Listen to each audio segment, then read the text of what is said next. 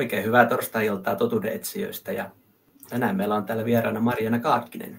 Hyvää iltaa. Tervetuloa. Hei vaan munkin puolesta.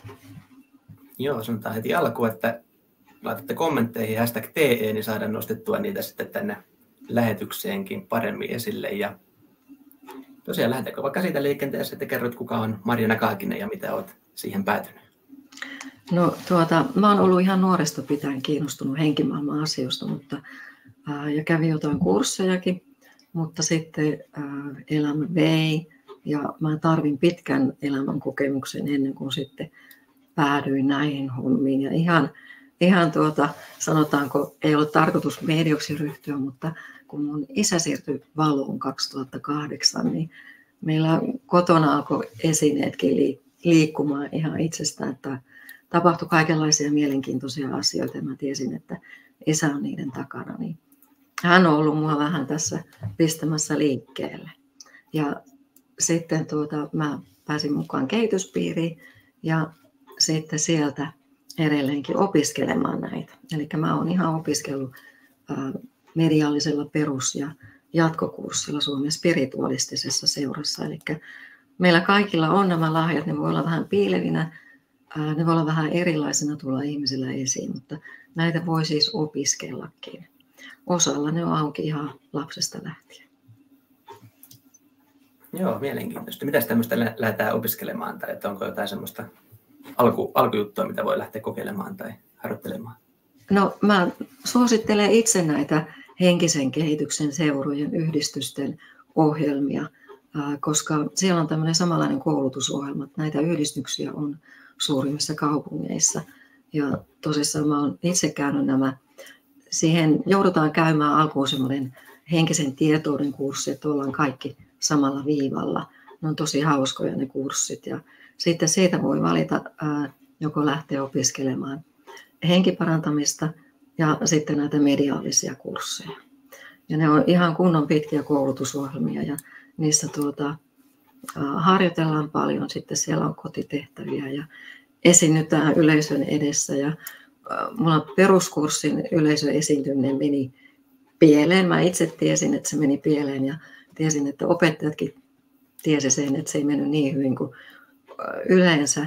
Ja mä siitä sit, mutta niin kuin kukaan muu ei tiedä, yleisökään en tiedä. Mutta tuota, mä siitä sitten vähän niin kuin sisuunnun ja aina kun oli mahdollista, niin mä menin sitten esiintymään yleisön eteen. Ja joskus tuosta 2015 lähtien mä oon näitä pikkuhiljaa tehnyt enemmän ja enemmän. Joo, sulla oli tosiaan otsikko tämä linkki, tämä mediolinkki henkimaailmaan, niin haluatko lähteä kertomaan vähän? Joo, eli, kyllä. Eli tuota, media on todellakin semmoinen linkki sinne henkimaailmaan, vähän niin kuin radiokanava, että se täytyy säätää se kanava kohdalleen. Eli media nostaa omaa energiatasoa korkeammalle ja henkimaailma taas laskee sitä omaa, omaa energiatasoa, että ne kohtaa sitten. Ja, ja tuota, ei mediallakaan aina ole paras päivä, että se saattaa olla, että se ei ihan ole kohdallaan se asema siellä, että ää, voi olla, että joskus tuota, ei saa ihan niin hyvin sieltä sitä tietoa ja joskus tulee tosi loistavasti. Eli media välittää viestejä sieltä henkimaailmaan siirtyneiltä läheisiltä, rakkailta. Media tuo niin tunnisteita sieltä henkimaailman tulijasta ja sitten kertoo niitä viestejä. Ja koska ei tule mun kautta mitään ikäviä juttuja, että ne on enemmänkin semmoisia iloisia, rakkaudellisia viestejä ja hyviä neuvoja. Eli henkimaailmasta ei koskaan sanota, että nyt sun kuule pitää Markus tehdä näin, vaan, vaan tuota, todellakin niin, että se on aina sun valinta. Mutta esimerkiksi mun isän äiti tuli sieltä tuomaan mulle neuvoa, niin mulla meni pari kuukautta ja sitten mä ajattelin, että okei, kyllä se mun ihan oikeassa oli ja sitten mä päädyin siihen ratkaisuun, mitä hän mulle ehdotti.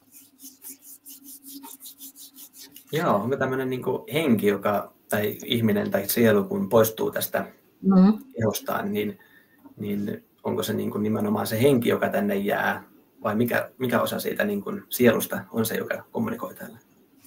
No mä käsitän itse, tai mä käytän itse sanaa sielu.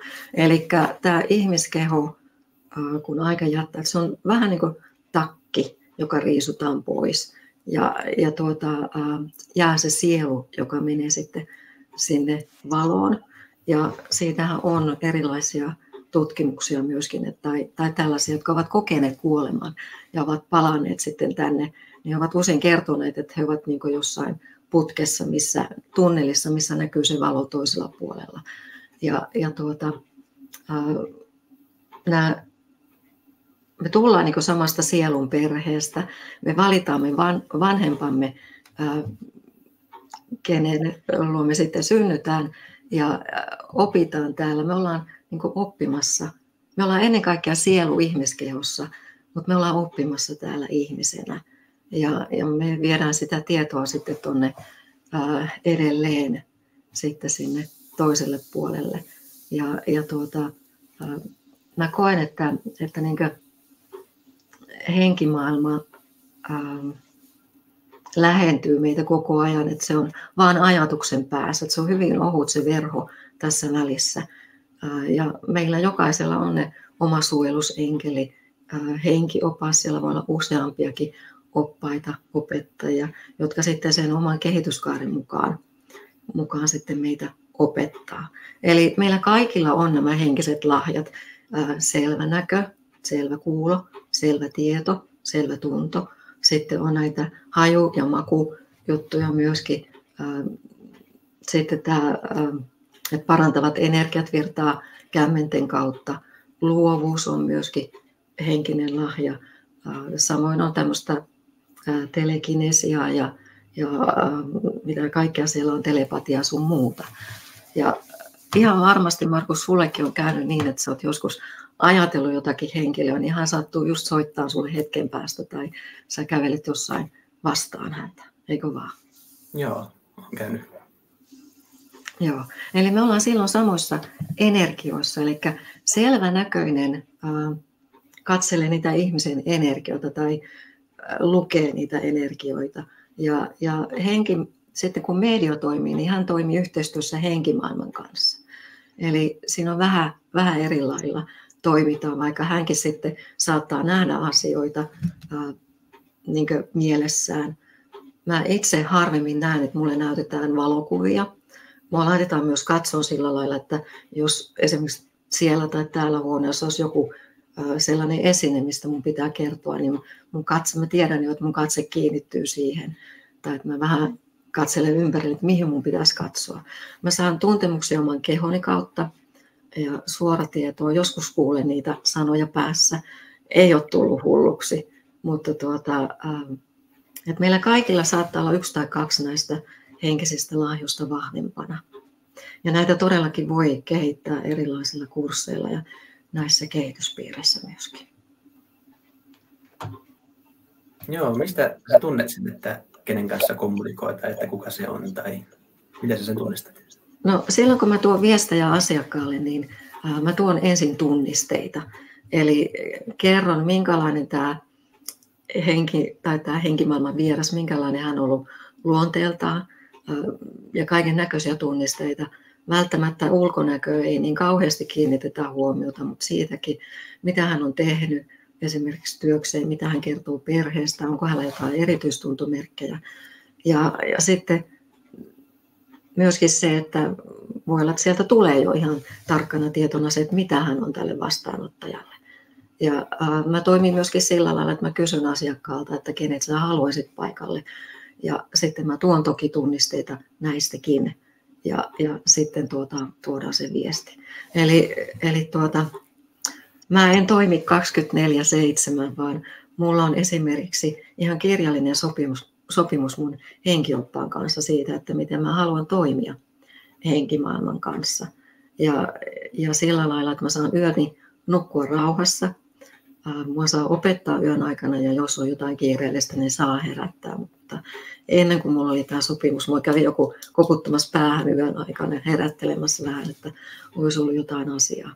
Mutta se, että kun mä en näe heitä, niin mulla on ehkä vaikeampaa saada itselleni sitä tietoa, muuten kuin ehkä sitten kanavoimalla esimerkiksi kirjoittain.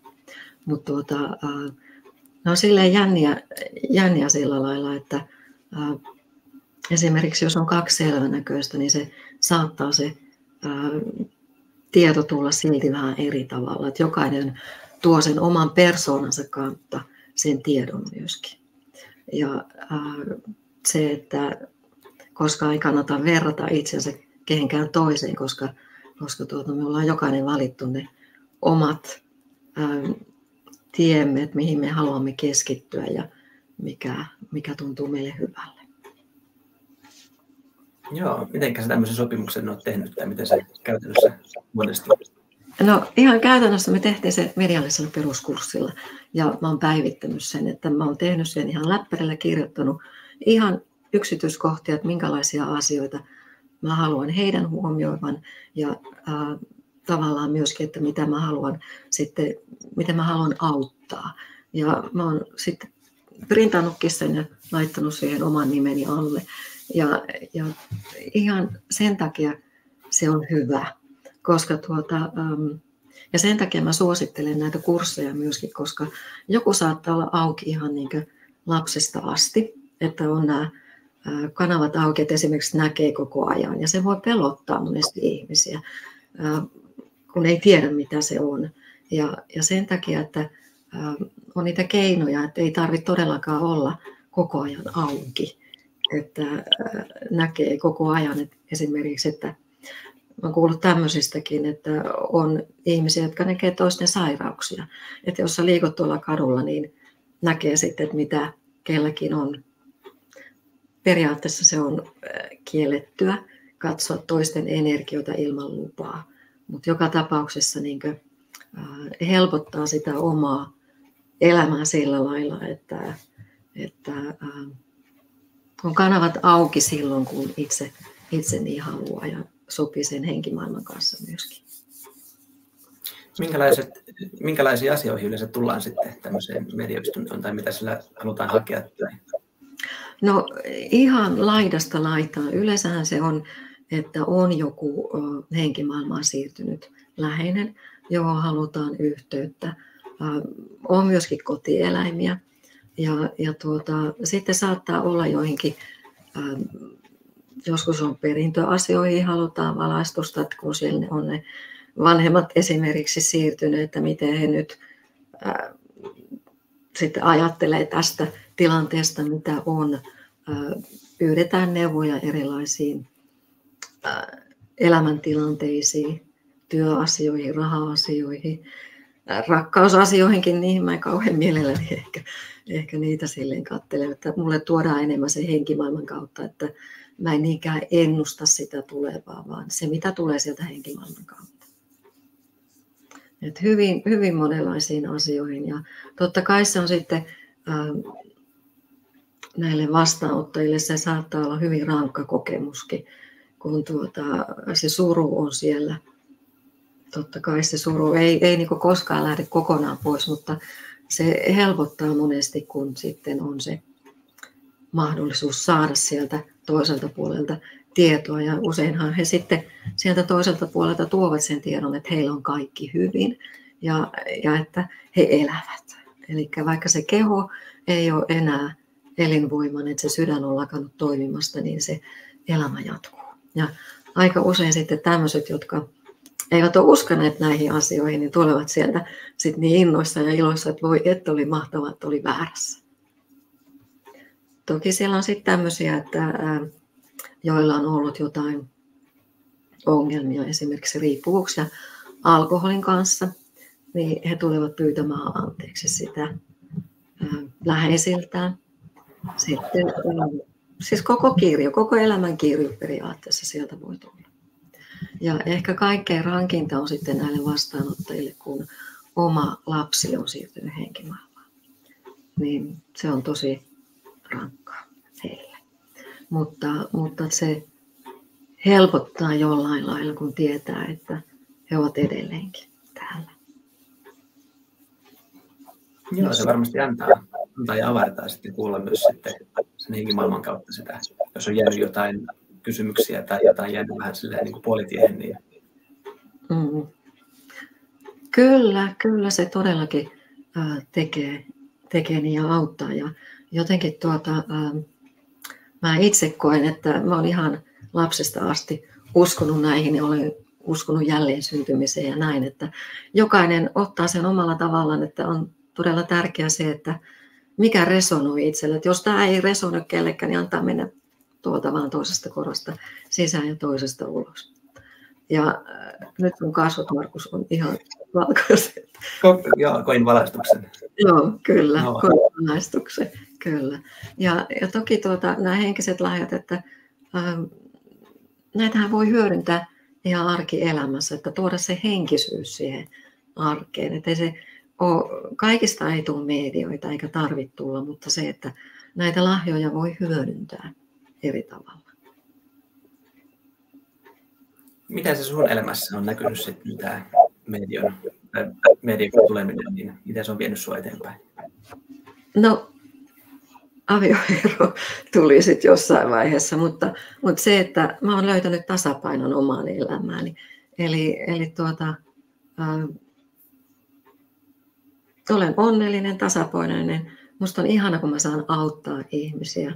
Ja, ja tuota, en mä näitä hommia varmaan koskaan lopeta. Et sitten vasta kun keho on siinä kunnossa, että ei pysty tekemään sitä, mutta mä saan tästä itselleni hyvin paljon.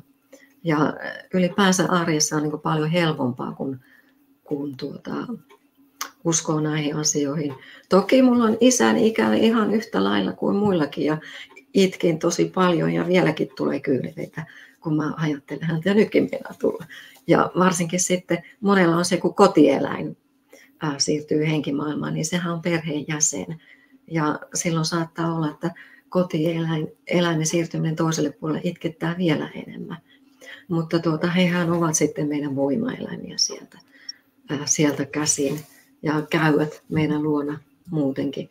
Ja ää, ylipäänsä se, että kun esimerkiksi raha-asiat on sellaisia, mikä hyvin usein ihmisiä painostaa, ne, ne tuota, stressaa paljon se, että kun ei ole rahaa laskuihin tai muihin, niin mä oon itse oppinut sen, että kun mä en murehdi ja huolehdi raha-asioita, niin aina se raha jostakin löytyy laskuihin.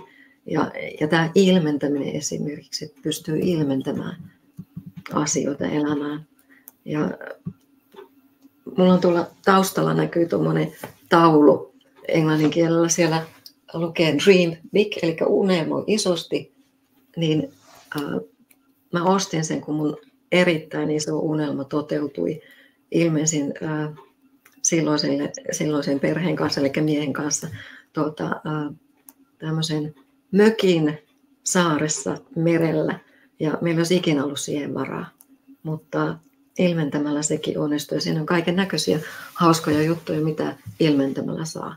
Eli nämä on näitä henkisiä juttuihin myöskin. Eli tuota, mä oon ilmentänyt itselleni työpaikan ja olen ilmentänyt itselleni sieltä myös potkut.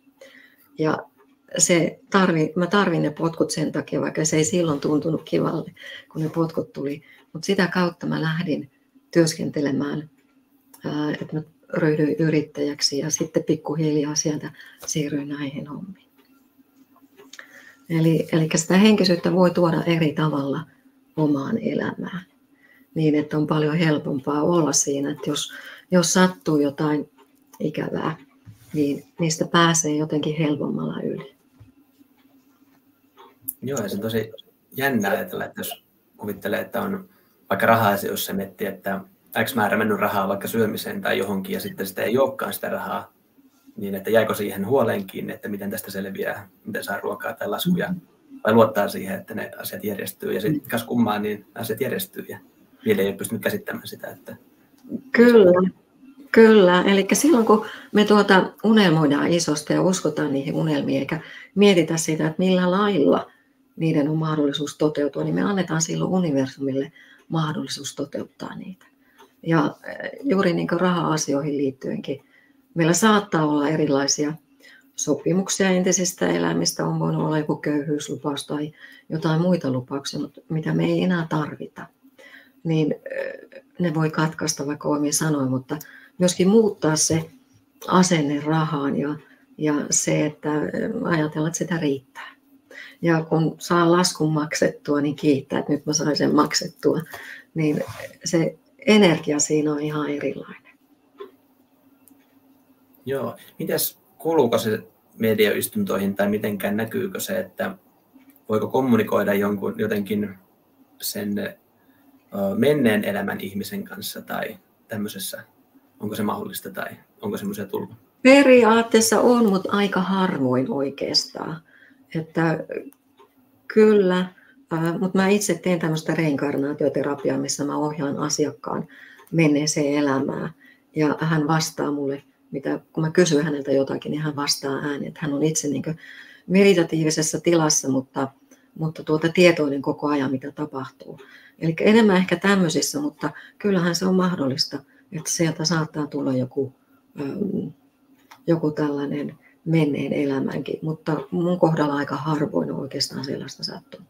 Voi tulla ihan eläviäkin ihmisiä, ja usein saattaa olla tämmöinen muistisairas, jos on vielä elossa, niin hän saattaa tulla tuomaan viestiä, koska hän on enemmän jo siellä toisella puolella.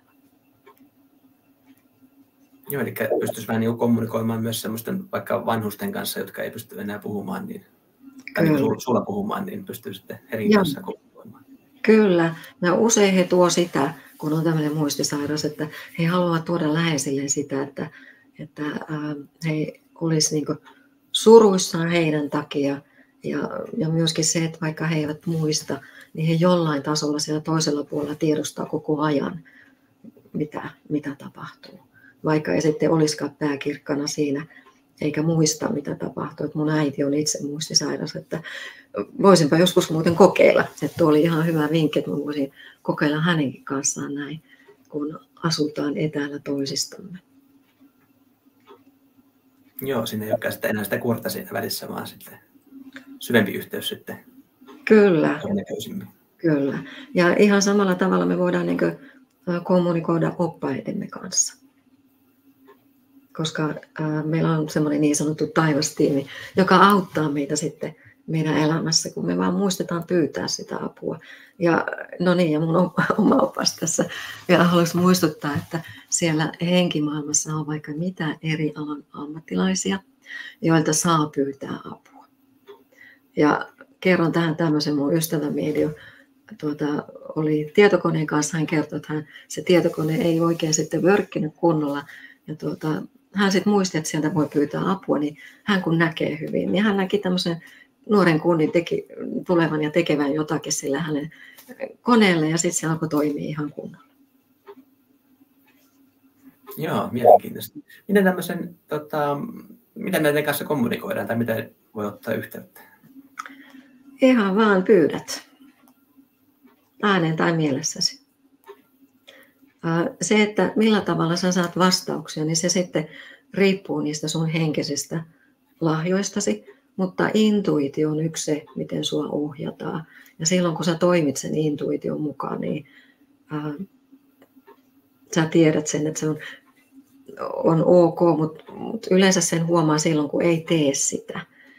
Et, eli ei toimikaan sen intuition mukaan, niin huomaa sitten jälkikäteen, että miksi mä nyt tehnytkään niin, koska se olisi helpottanut sua jollain tavalla. Ja, ja myöskin sitten tuota, se saattaa tulla ajatuksena päähän. Ja sitten näiden, se saattaa tulla esimerkiksi sitten toisen ihmisen kautta, eli, eli tuota, hän saattaa sanoa sulle jotakin, sä saatat lukea jostakin, nähdä jotakin. Mä olin tuota, muutamia vuosia sitten, mä teen yhteistyötä Anneli Sjöstetin kanssa.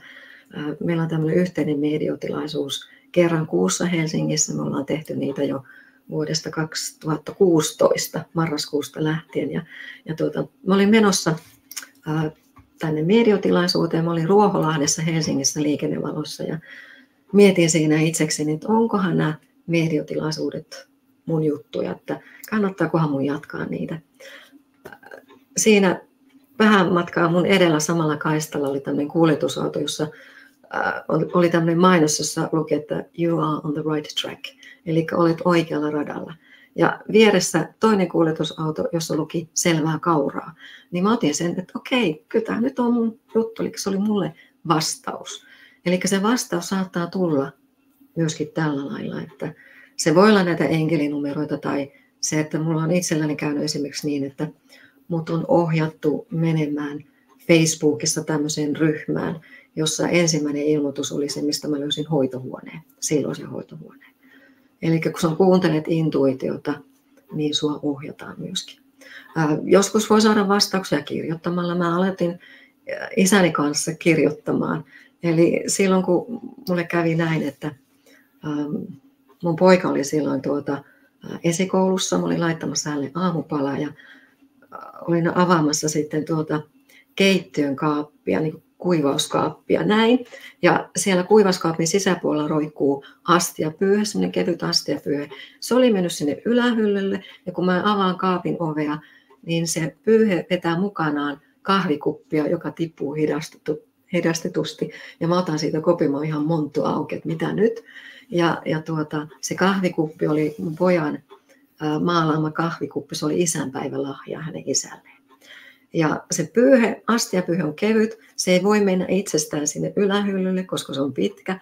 Ja se on niin kevyt, että se ei voi vetää mitään kuppia sieltä alas. Ja mähän testasin sitä kanssa, että miten se voisi tapahtua. No, mutta sitten kun mä olin vienyt pojan tarhaan sinne esikouluun, tuli kotiin ja mulla oli tuota, mä te, tein silloin töitä kotota käsin. Ja sitten pöydällä oli lehtiö ja kynä. Ja mä kokeilin silloin kirjoittaa automaattikirjoitusta. Mulla ei nuorempana kynä liikkunut ollenkaan, mutta sitten mä aloin kommunikoimaan isäni kanssa, siellä tuli tämän kokoisia kirjaimia alkuun. Ja allekirjoituksena Kauko Kaakinen Ylikiiminki taivas. Ja, ja tuota, kirjoitin hänen kanssaan, mä kokeilin sitten muidenkin äh, sukulaisten ja miehen sukulaisten kanssa sitä. Se onnistui ihan äh, läppärilläkin, näppäimistöllä. Jossain vaiheessa mun piti vaan sanoa, että voisiko tehdä vähän pienempää se teksti, että kun ei paperi riitä. Ja sillä lailla mä aloittelin. Ja jossain vaiheessa mä kokeilin, että tarviko tässä enää sitä kirjoittamista. Että se onnistui muutenkin, mutta, mutta se, että kun kirjoittaa, niin se jää muistiin, koska se niin äkkiä unohtuu. Mutta niin mediona, kun mä työskentelen asiakkaiden kanssa, niin äh, sitten kun mä oon lopettanut istunnon, niin se saman tien, tien multa pyyhitään pois. Eli siellä on se delete-nappula ja en mä muista enää sitten, mitä mä asiakkaan kanssa on puhunut. Jonkun vakioasiakkaan kanssa jotain jää mieleen. Ja sitten jos, jos siinä tilanteessa on tapahtunut jotain sellaista, että mä opin siinä, niin se jää mun muistiin, mutta yleensä ei kauheasti niin ole tarve muistaakaan mitään. Joo, kauan tämmöinen videoistunto yleensä kestää? No, mä teen ihan 15 minuutista tuntiin ja joskus voi mennä ylikin. Eli ihan sen asiakkaan mukaan. Eli 15 minuuttia, 30 minuuttia, tunti. Ja, ja tuota, kyllä ihan lyhyessäkin ajassa ehtii, ehtii tuota, saada tietoa. Joo, miten puhut tuosta, että oppaatkin vaihtuu, niin miten, miten se käytännössä menee, että mitkä oppaat on aina milloinkin ja milloin, milloin ne vaihtuu missä tilanteessa? Joo, se, että meillä on niin syntymästä saakka ihan, ihan se tietty opas. Hän on voinut olla meillä oppaana jo jossain aikaisemmassakin elämässä. Sitten kun me kehitytään henkisesti, niin sieltä saattaa tulla joku toinen opas ohjaamaan just sitä kehityskaaren aikaa. Toki se perusopas meillä on edelleenkin, mutta tuota, se voi tuntua energioissa, että ei, ei tunnukaan enää se oppaan energia samalta, Toki jos on selvänäköinen, niin voi nähdä tämän oppaa. Mulla kävi niin, että kun mä meditoin ja olen pyytänyt opasta lähelle, niin, niin tuota, mä alkuun näin hänet niin valona ja värinä. Ja sitten tuli semmoinen puhtaan tuoksu. Ja sitten jossain vaiheessa hän näyttäytyy mulle valokuvan. Ja se oli niin selkeä valokuva, että mä rupesin googlettamaan. Ja koska hän on intiaani, niin mä löysin hänet. Ja sitten jossain vaiheessa selvisi erässä toisessa meditaatiossa, että mä oon ollut hänen poikansa siinä elämässä ja, ja tuota, on kuollut silloin pienenä. Ja, ja sitten nämä oppaat todellakin siellä saattaa olla useampia. Voi olla henkiparantajaopasta. Ähm, jos olet tuota taiteilija, niin siellä voi olla sitten tällaisia oppaita, jotka auttaa sinua siellä äh, esimerkiksi sävelteen ja musiikin saralla – kuvataiteilijoita, kirjailijoita, kaikenlaista. Ja, ja todellakin, että se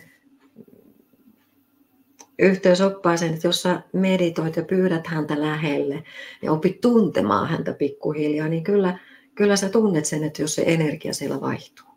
Mutta se, että jos se energia ei tunnu hyvälle, niin sitten kannattaa pyytää opas vieläkin korkeammalta tasolta. Ja joillekin no. on sitten näitä enkeleitä, arkienkeleitä. Onko tämmöinen arkienkeli toimia oppaina vai onko se enemmän semmoinen väliaikainen opas, miten sä näet sen?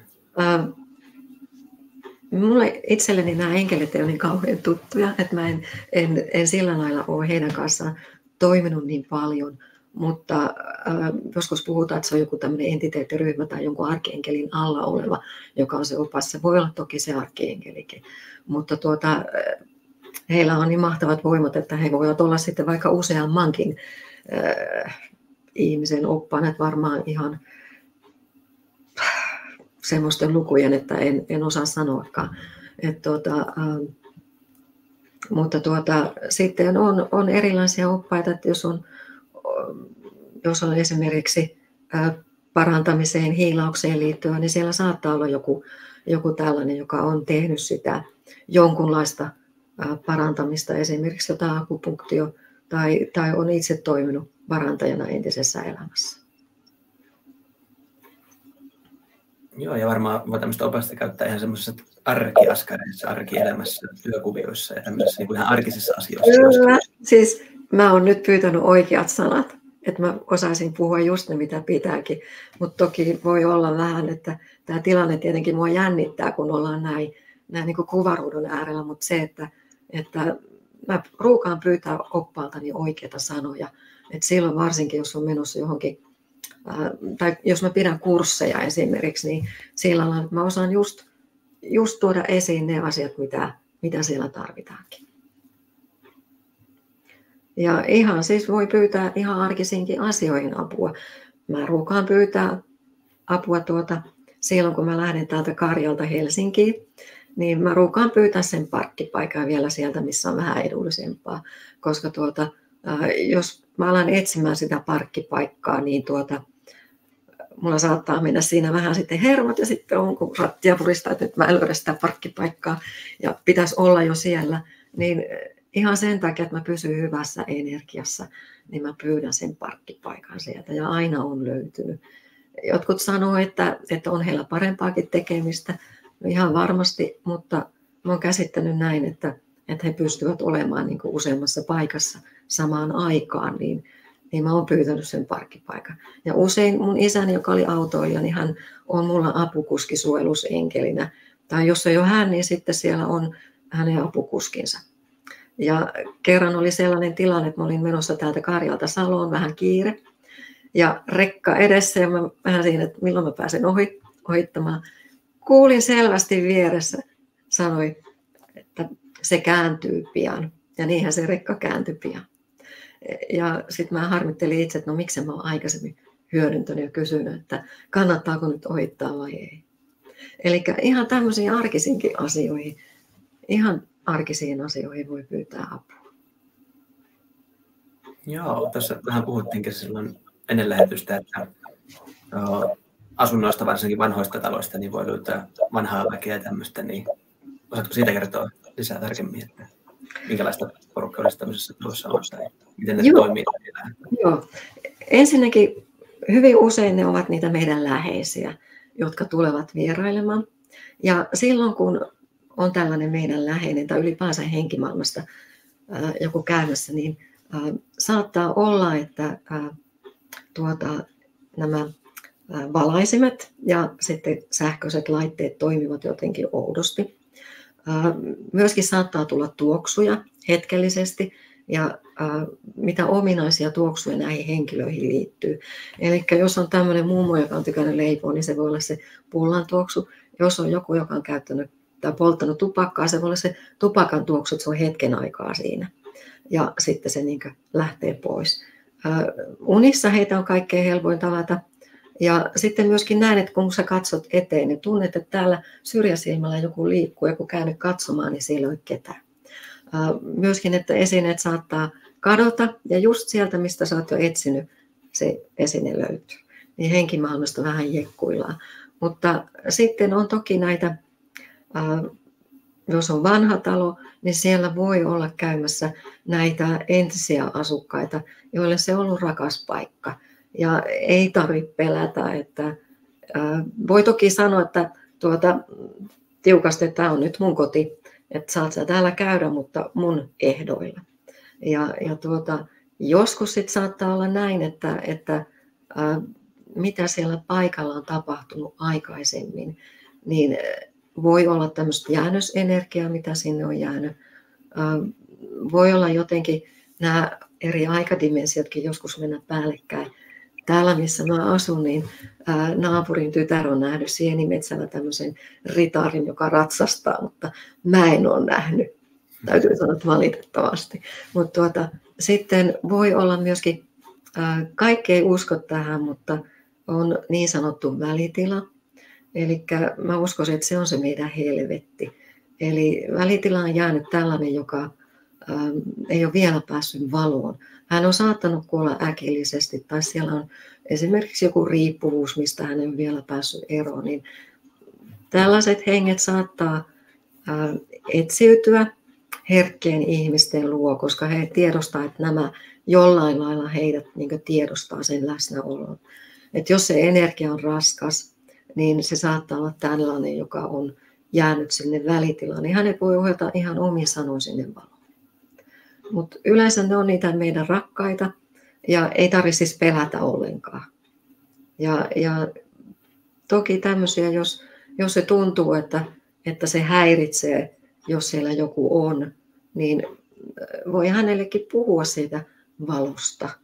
Ja, ja sillä lailla eräs ystäväni kertoi, että kun he muuttivat vanhaan taloon, niin pannuhuoneessa oli joku tämmöinen energia jäänyt. Ja hän aina kun siitä kulki ohi, niin hän puhui siitä valosta. Ja yksi, kaksi, tämä oli sitten lähtenyt sinne valoon. Mutta ei todella nyt pelätä. Joo, kyllä se voi säikäyttää, että jos yhtäkkiä joku ns. näkymätön ottaakin fyysisesti yhteyttä siihen, niin kyllä se voi säikäyttää sitten ja mennä siihen niin pelkomoodiin, vaikka se olisi niin hyvät aikeet edessä. Kyllä, toki, mutta että nämä meidän henkimaailman rakkaat, he tulevat aina niin rakkaudella ja ilolla. Ja, ja tuota, se, että media toimii niiden sen hyvän henkimaailman kanssa. Ja toki ihan samalla lailla mäkin ohjaan valon, jos, jos tämmöisiä tulee. Mutta tuota, mutta se on ihan hyvä tietää, että et jos näitä hommia alkaa niin kuin, tekemään tai enemmänkin niin alkaa kehittämään omia lahjoja, niin sitten että saattaa tulla sellainen tilanne, että kohtaa tämmöisiä, että ei, ei tarvitse säikähtää. Ja ylipäänsä niin mediona, jos sä haluat työskennellä mediona tai kehittää näitä omia henkisiä lahjoja, niin on tosi tärkeää, että sä oot sinut itsesi kanssa, että sä oot tasapainossa – että jos on mielenterveysongelmia, niin ne pitäisi saada hoidettua ensin. Koska silloin, kun aletaan toimia henkimaailman kanssa, niin jos on mielenterveysongelmia, niin siinä saattaa tulla sitten vaikeuksia. Että, että, että kun on herkkä, herkkä ihminen, niin todellakin kannattaa niin kuin, tutustua itseensä ihan syvälle sinne syövereihin ja esimerkiksi näillä henkisen kehityksen yhdistysten mediallisilla kurssilla, niin peruskurssilla ihan alussa tehdään harjoituksia ja mennään sinne syvälle itseen. Eli opitaan tuntemaan itseä sitä, että niin kun ajatellaan sitä, että kun mä mediona, kun mä tuon rakkaita sieltä asiakkaalle, niin mun pitää pysyä omassa energiassa, että mä en mene siihen suruun sillä lailla mukaan. Toki mulle voi tulla välillä kyyneleitä silmiin, kun mä koen sen henkimaailman läheisen kyyneleet itsessäni, mutta se, että, että mä pysyn siinä tasapainossa, kun tuon sitä viestiä hänelle, niin se on tosi tärkeää se, että näissä hommissa ollaan, ja ylipäänsä kun kehitetään näitä lahjoja, niin pysytään tasapainossa ja, ja tuota, opitaan tunteamme, tuntemaan niin itseämme vielä paremmin. Joo, mun täytyy kertoa tuossa, siitä on onko siitä nyt kohta viisi vuotta aikaa, ex-kumppanin mummo asui tämmöisellä järvenranta, tai järvenrannassa tämmöinen 300 neliöinen, ainakin 100 vuotta vanha, kaksikerroksinen tota, puutalo. Ja sitten se oli joulun aikaa ja tultiin sitten tota, sellaisen kumppanin kanssa siihen ö, keittiöön, istuttiin siinä oli valo päällä ja muuten pimeätä ja vähän sitten oltiin istuttu ja sitten kuunnellaan, että, niin kuin, että radio on päällä. Että telkkari tai radio on päällä, että kuuluu semmoinen musiikki ja viulunsoitto ja tämmöinen. Ja sitten me katsoo telkkarit ja radiot ja yläkerra ja kaikki, kaikki on kiinni ja ei, niin kuin mikään, mikään ollut päällä. Ja sitten mennään taas uudestaan sinne, ollaan hiljaa siinä keittiössä ja taas kuullaan, kun se oli katorajasta, niin mä sieltä niin katorajasta kuuluu semmoinen viulunsoitto ja ihan niin kuin semmoinen musiikki, vanha ja musiikki mm. siellä. Ja se oli tämmöinen ensimmäinen kokemus, kohtaaminen tämmöisen niin vanhan, vanhojen asukkaiden kanssa. Joo, ne on tosi, tosi kivoja sillä lailla. Toki on ihmisiä, joilla on sitten ikävämpiäkin kokemuksia. että saattaa olla tämmöinen portaali, josta sitten kuljetaan henkimaailman näin, niin se saattaa olla levotonta. Ja tietenkin, että jos, jos on tapahtunut jotain ikävää, niin siellä saattaa olla se jäännösenergia, niin silloin kannattaa tuota, äh, puhdistaa ne energiat ja siunata, että se yleensä auttaa sitten siihen, että se energia on sitten muuttuu, että siellä on parempi olla. Joo, tuossa oli just oli eräs en muista enää kuka oli, mutta tutun sukulainen tai jotain sinne päin, niin uh, ne oli aina kuullut, kun oli mennyt nukkumaan, että vauva itkee, vauva itkua. En tiedä, mm. joka ilta, mutta niin kuin säännöllisesti vauva itkee. Ja Joo. sitten lopulta oli löytynyt sieltä vintiltä vanha talo, niin siellä oli kuollut vauva siellä, tota, siellä vintillä ollut. Ja sen jälkeen, kun se sitten vietiin pois, niin se oli sitten loppunut tämä. Joo. Ai että, mutta ihana kun hän löyti hän löytyi, että sieltä tuli ne itkut, että hän pääsi sitten rauhaan sieltä. Mm. Joo. Joo, kyllä. Nämä on sillä lailla hauskoja esimerkiksi, kun silloin kun mun poika oli äh, pienempi, niin, niin, tai oli siellä esikoulu- ja kouluiassa jo, niin tuota, äh, kun oli näitä kauko-ohjattavia autoja ja oli hänen syntymäpäivänsä ja oli sitten kavereita kylässä ja, ja tuota, me lähdettiin sitten juhlimaan vielä – muualle sitä syntymäpäivää sitten sukulaisten kanssa ja, ja, ja tuota, tultiin kotiin. Ja mä olin lähdössä vielä, kun lähdettiin, niin mä tarkistin, että kaikki nämä kauko-ohjattavat on kiinni, koska ni, niissä oli pattereita, ne toimi pattereilla ja sitten ne kuluu aika äkkiä ne patterit. Niin tuota, tultiin kotiin, niin selkeästi kuulin, että tietystä suunnasta kuuluu töyttäysääni. Ja sitten mä ajattelin, että voi itkot, nyt sieltä on joku näistä jäänyt päälle näistä autoista mikään ei ollut päällä ja se auto, mikä tööttäisi, mistä suunnasta se tuli, siinä ei ollut tööttiä. Mutta sitten mä kuulin selvästi, kun isä sitten sanoi, että no täällä ää, automies on, onnittelee sitten pienempää automiestä. Eli se viesti tuli sitten sillä lailla, kun mä en häntä olisi ehkä nähnyt, niin hänen tarvi tehdä jotakin, että mä reagoin siihen. Niin se oli se töötti sitten. Joo, nämä on jänniä mielenkiintoisia asioita aina, miten nämä ilmenee ja ottaa yhteyksiä.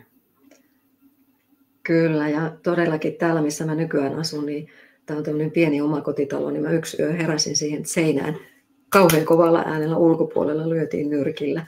Ja tuota, edellinen asukaskin oli kokenut semmoisen, mutta, mutta tuota, todennäköisesti hän oli äh, jonkun sadan vuoden takaa tämmöinen itsenäinen naisihminen, että olisi varmaan pitänyt herätä töihin.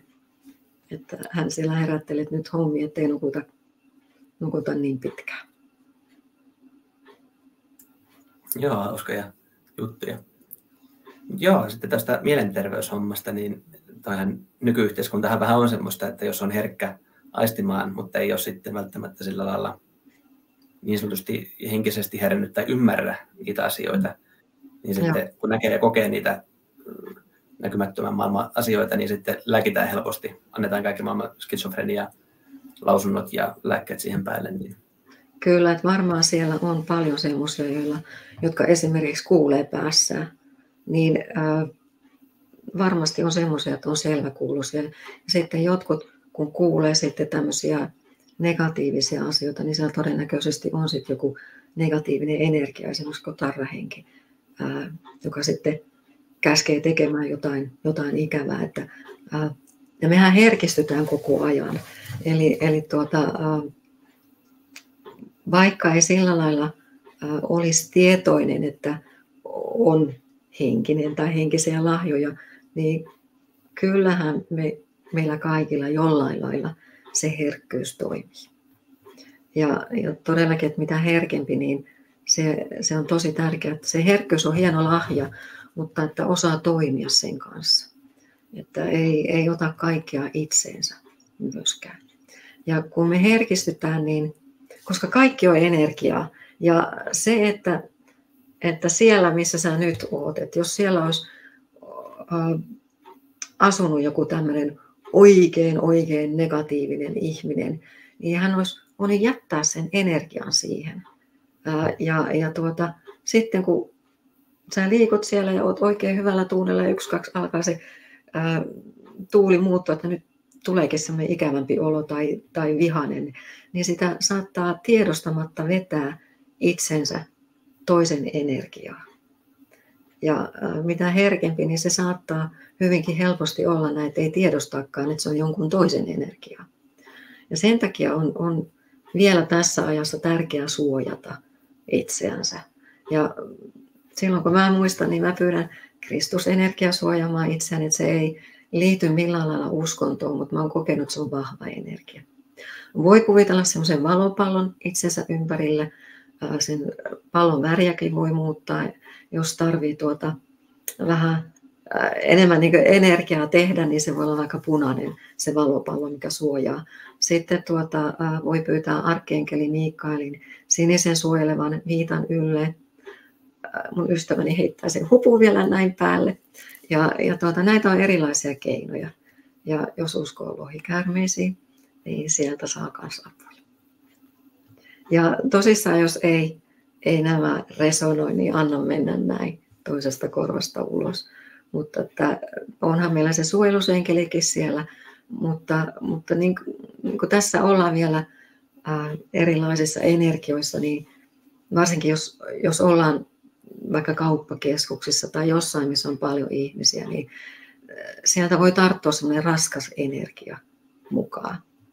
Niin sen takia se suojaus on hyvä, että pysyy siinä omassa energiassa, omassa tasapainossa. Ja yksi, mä kerron vielä, yksi se, että jos huomaa, että äh, alkaa se oma tasapaino järkkyä, niin helppo keino pysähtyy hetkeksi hengittämään rauhallisesti syvään sisään ja ulos. Ei tarvi kauaa tehdä, niin keho ja mieli rauhoittuu. Sitten on tämä, tämä nenän ja ylähuulen välissä oleva amorinkaari.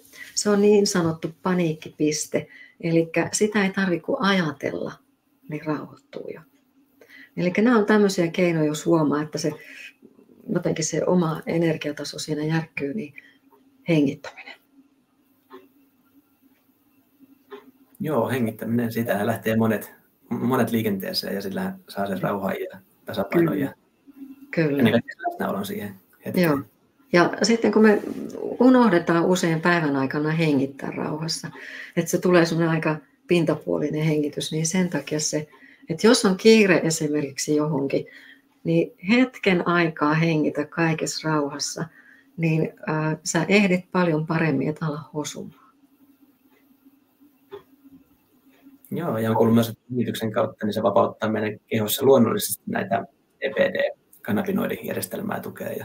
Kyllä, kyllä. Ja nyt on myöskin se Wonder Woman-asento, eli se pieni haara-asento ja kädet lanteille, niin se on siis tosi siinä tuota, testosteroni alkaa kohota ja se aiheuttaa sen, että ne hyvät hormonit alkaa vaikuttaa. Että se on myös semmoinen hyvä keino voimaantua tosi nopeasti. Joo.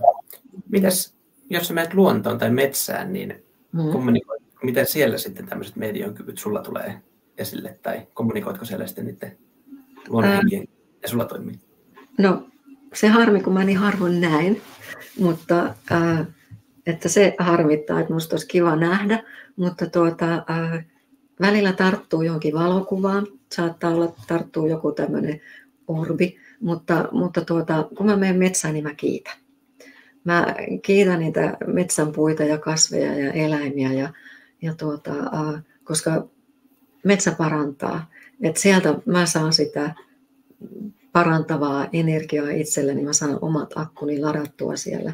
Ja jos esimerkiksi on tietty metsä tai joku tietty paikka, missä tykkää käydä, niin joka kerta kun menee sinne, niin kiittää. Niin sitten jossain vaiheessa huomaa, kun missä vaiheessa se energia muuttuu, että se energia, se metsä ottaa sinut jo vastaan. Ja, ja siinä on tosi ihana olla. Kämmenillä voi lukea energioita ja kokeilla vaikka metsässä niin laittaa kämmenet vaikka vähän siihen puun rungon niin viereen, että ei ihan kiinni tai kiinnikki. Kokeilla erilaisia puita, että minkälainen energia niissä on. Eli kuusi on ihan erilainen kuin mänty tai koivu. Ja puuthan kommunikoivat keskenään. Eli, eli tuota, äh, kyllä mä pyydän sinne puillekin parantaa ja luonnolle parantavaa energiaa, mutta, äh, mutta myöskin toisinpäin. Mä en ehkä niinkään luonnonhenkien kanssa äh, sillä lailla toimi muuten kuin noiden lohikäärmeiden. Eli, eli kun mä näen semmoisia, kun mä ajan esimerkiksi autolla ja mä näen paikkoja, missä on tehty avohakkuita, niin mä pyydän maalohikäärmeitä puhdistamaan ja parantamaan sitä maan, maa, maata, maaperää. Ja nyt tuli tässä mieleeni, kun viimeksi kävi Helsingissä, että no miksi mä oon pyytänyt kaupunkeihin, että kaupungithan sitä erityisesti tarvii myöskin. Mutta että, mä kun harvemmin näen itse, niin se niin on, on sellainen, että mä en sitten tiedä, kenen kanssa enemmän kommunikoi, mutta, mutta tuota, kyllä mä sen lohikäärmeen silmän olen nähnyt meditaatiossa ja mun ystävä, joka näkee hyvin, niin on, on nähnyt mulle myöskin. Ja Diana Cooperhan on, on, on näistä lohikäärmeistä ja yksisarvisista ja enkeleistä ja kaikista mahdollisesta kirjoittanut ja hänellä on myöskin YouTubessa paljon erilaisia meditaatioita ja mä olin kerran hänen meditaatiossaan tapahtui suorana. Ja oli juuri tämmöinen, missä tutustuttiin omaan lohikäärmeeseen. Mä en nähnyt tätä lohikäärmettä, mutta kun mä tunsin sen lämpimän hönkäyksen päin naamaa, että okei, kyllä se on ihan totta. Joo, kyllä se. Ne ihan totta on, että mäkin muistan muutama vuosi sitten, niin ensiksi se näkyi taivaalla pilvissä, sitten ne tuli vähän lähemmäs, näkyi puissa ja lopulta se löytyi niin omasta itsestään se, se lohikäärme. Ja kyllä. Ihan tosiaan kyllä. on, että Joo, et, et on, meillä on kaikenlaisia auttajia. Ja nythän tuota on, on tämmöinen ajanjakso, mikä alkoi viime sunnuntaista, jatkuu vielä niin, että se on 11.11. Eli tänä ajanjaksona maapallon energiatasoa kohotetaan. Eli jokainen voi omalla tavallaan kohottaa sitä energiatasoa. Ihan vaikka sillä, että meditoi ja näkee sen maapallon vaikka sieltä avaruudesta käsin loistavan sitä kaunista kullanvalkoista valoa. Joo, miten sä näet, minkälainen vaikutus siinä on, kun ihmiset tekee sitä aina yhdessä ja samanaikaisesti? Niin? Sitähän on tutkittu myöskin. On, on tämmöistä, että miten se vaikuttaa aivoihin esimerkiksi meditaatio. Ja sitten on ollut joku tämmöinen, en muista mikä kanava se oli, mutta, mutta oli tuota, kun rukoillaan yhtä aikaa. Että se oli oikein energiapiikki siinä. Ja koska ajatuksella on voima, niin totta kai nämä vaikuttaa. Ja silloin kun me äh, tuota, äh, ollaan enemmän siellä positiivisella kannalla, niin mehän vedetään enemmän positiivista ja päinvastoin. Että, äh, että kyllä nämä on siis tavattoman tärkeitä juttuja. Toki eihän me voida koko ajan olla positiivisia, että täytyy hyväksyä, että me ei olla täydellisiä eikä meidän tarvi olla, että välillä on se huono päivä ja tarvii käydä läpi niitä tunteita – mutta se, että kun me ollaan enemmän siellä, että siellä positiivisella kannalla, niin se elämäkin on paljon helpompaa. Että me vedetään enemmän sitä hyvää silloin puoleemme. Ja, ja jotenkin äh, on tärkeää, että jokainen löytää sen oman keinon, mikä on itselle hyvä. Äh, jollekin se on se meditaatio. Se voi olla vaikea tyhjentää ajatuksia. Silloin voi vaikka keskittyä siihen hengittämiseen – tai laittaa kynttilä palaamaan ja keskittyä siihen liekkiin. Se voi olla joskus musiikki. Jollekin se voi olla, että menee sinne metsään kävelemään kaikessa rauhassa. Tai tekee jotain, missä on läsnä. Että jokainen voi niin itse kokeilla erilaisia keinoja, mitkä toimivat itselle. mikä nostaa sitä energiatasoa. Mä oon, mä oon nyt löytänyt tämän Pharrell Williamsin Happy-kappaleen. Eli se on mulle sellainen, että ää, mun täytyy alkaa tanssimaan, mulle tulee heti siinä hyvä, hyvä energia itselleni. Ja, ja tuota, ylipäänsä niin kuin, kun ajatellaan, ajatellaan tätä, kun kaikki on energiaa, että miten kaikki vaikuttaa kaikkeen, niin kuitenkin ollaan yhtä. Joo, ja täytyy sanoa niin oma kokemus myöskin, että kun tarpeeksi tulee tietoiseksi itsestään ja tunteistaan, niin sitten myös se, sitten kun tulee vaikea hetki, tulee vaikka ärsytys tai muu vastaava, niin se pohja on ikään kuin siinä, että se ei ole enää niin kuin, koko maailma ei mene sen ärsytyksen tai harmituksen mukana, vaan se, se, ikään kuin se pohja on siellä niin kuin valmiina, jossa sitten koetaan se ärsytys ja sen hetkinen niin kuin, mm-hmm. matala, ma, matalampi kokemus, ja sitten siitä taas on helppo vapautua, että se yleensä nopeasti vielä vapautuu siinä. Että se ei ole enää sellainen kokonainen romahdus, että kaikki on päin mäntyä ja honkia. Joo, kyllä. Me helpommin tapahtuu Kyllä, ja, ja todellakin niin, että jos me jäädään märehtimään liian pitkäksi aikaa asioita, niin sieltä on hankala päästä ylös. Että me vaan vedetään sitten sitä ikävää enemmän ja enemmän, Mut, mutta tuota, kun me muutetaan sitä ajattelutapaa, pyritään siihen, että kun me huomataan, että aha, nyt mä menin, ajattelin vähän nyt negatiivisesti, että miten mä saan käännettyä sen positiiviseksi. Toki äh, tulee näitä muistoja mieleen, äh, ikäviä muistoja aina välillä, niin mä käsittelen niitä sillä lailla, että mä käytän mielikuvitusta hyväkseni ja muutan sen tilanteen lopputulema jotenkin positiiviseksi, niin silloin mä pystyn päästämään siitä tunneenergiasta irti. Koska meillähän on tämän fyysisen kehon lisäksi energiakehoja. Ja meillä on sellainen keho, mihin me kaikki tuntemukset ollaan kerätty niin tässä elämässä tähän asti kuin muissakin elämissä, niin maapallolla kuin muuallakin. Niin sieltä saattaa joku asia tai joku sanoo jotakin tai näkee jotakin, niin se saa, saattaa nostaa esiin jotain semmoista, ärsytystä, mikä on jostain sieltä menneestä, hyvinkin kaukaa. Ja jos on niin tästä elämästä, niin, niin silloin sen muiston muuttamalla sen, vaikka me ei mennyttä voida muuttaa, niin me voidaan muuttaa se energia siinä, jolla voi muuttaa sen positiiviseksi, jolloin siitä pääsee helpommin irti. Joo, ja silloinhan se tavallaan se menneisyys muuttuu ikään kuin siitä, kun se ei ole enää vaikuttamassa siihen. Kyllä, ja on toki erilaisia keinoja puhdistaa sitä mennyttä. Yksi on ne lohikäärmeetkin. Joo.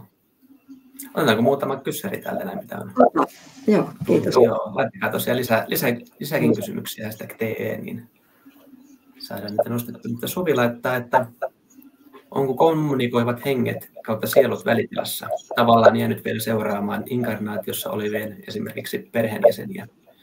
Pystyykö kommunikoimaan, mikäli on noussut jo valoon? No ennen kaikkea mä kommunikoin, kommunikoin niiden kanssa, jotka ovat siellä valossa jo. Toki näiden välitilassa olevienkin kanssa pystyy kommunikoimaan, mutta mä toimin tämän hyvän henkimaailman kanssa ja, ja sitten ohjaan näitä välitilassa olevia valon. Joskus mä toimin sillä lailla, että mä menen transsiin ja siinä kun on ollut mun ystävä mukana, niin hän on ohjannut sitten näitä, mitkä tulee transsissa sitten läpi tämmöinen välitilaan jäänyt, niin mun ystävä on ohjannut sitten heitä siinä valoon. Eli perheenjäsenet tulevat sieltä valosta meitä moikkaamaan.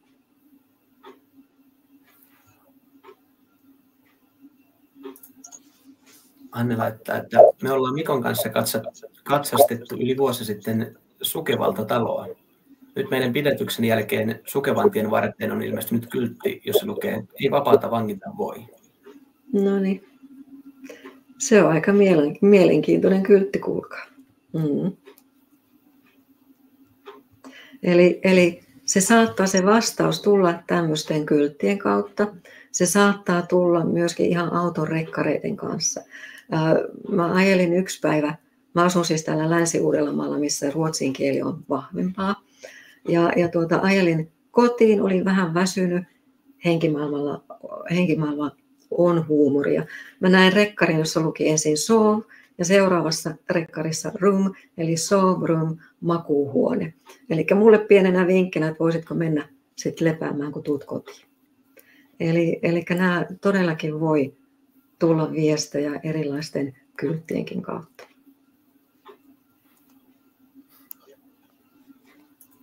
Eri laittaa, että minulla on opas arkkienkeli jo vielä. Aiku ihanaa. Mm, kyllä. Eli mulla itselläni ei ole, mutta nyt tämän Diana Cooperin sunnuntaisen tapahtuman jälkeen, missä nostettiin maapallon energiatasoa, niin tässä pitäisi mullekin olla nyt näitä arkkienkeleitä ja muita mukana, mutta todella hienoa. hieman varautunut preppari laittaa kysymyksen, että välitilan räyhänhenget laskevat huoneen lämpötilaa. Kyllä, se voi tuntua kylmälle. Kyllä. Ja onhan näitä, äh, kun on näitä äh, telkkarisarjoja, missä he erilaisin laittein sitten seuraavat, seuraavat näitä äh, henkimaailmaa, niin kyllähän siellä, heillä on usein sitten, että se lämpötila laskee.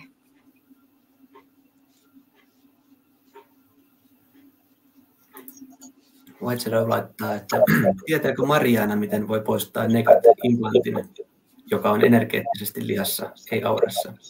Ystäväni tyttärellä on sellainen ja on vähän väliä aurorassa. Ja mistä miksi monen ehkä? Kuule Mira, tuota, mä luulen, että siinä voisi energiahoito auttaa tai sitten tämmöinen reinkarnaatioterapia. Ja, ja tuota, sitten esimerkiksi Katriina Bäri tai Esko Jalkasen toiminnan jatkajat, he tekevät paljon tämmöistä puhdistamista. Ja, ja tuota, mä en ihan tarkkaan tiedä, miten tämä negatiivisen implantin voi poistaa. Mulla on kyllä ystävä, joka todennäköisesti on näin tehnyt. Mutta ollaan yhteyksissä. Animaali laittaa, olen kuullut joskus enkelien laulua, tai kuulosti siltä. Kyllä, ja sehän on erittäin korkeatasoista. Olisi ihana kuulla itsekin.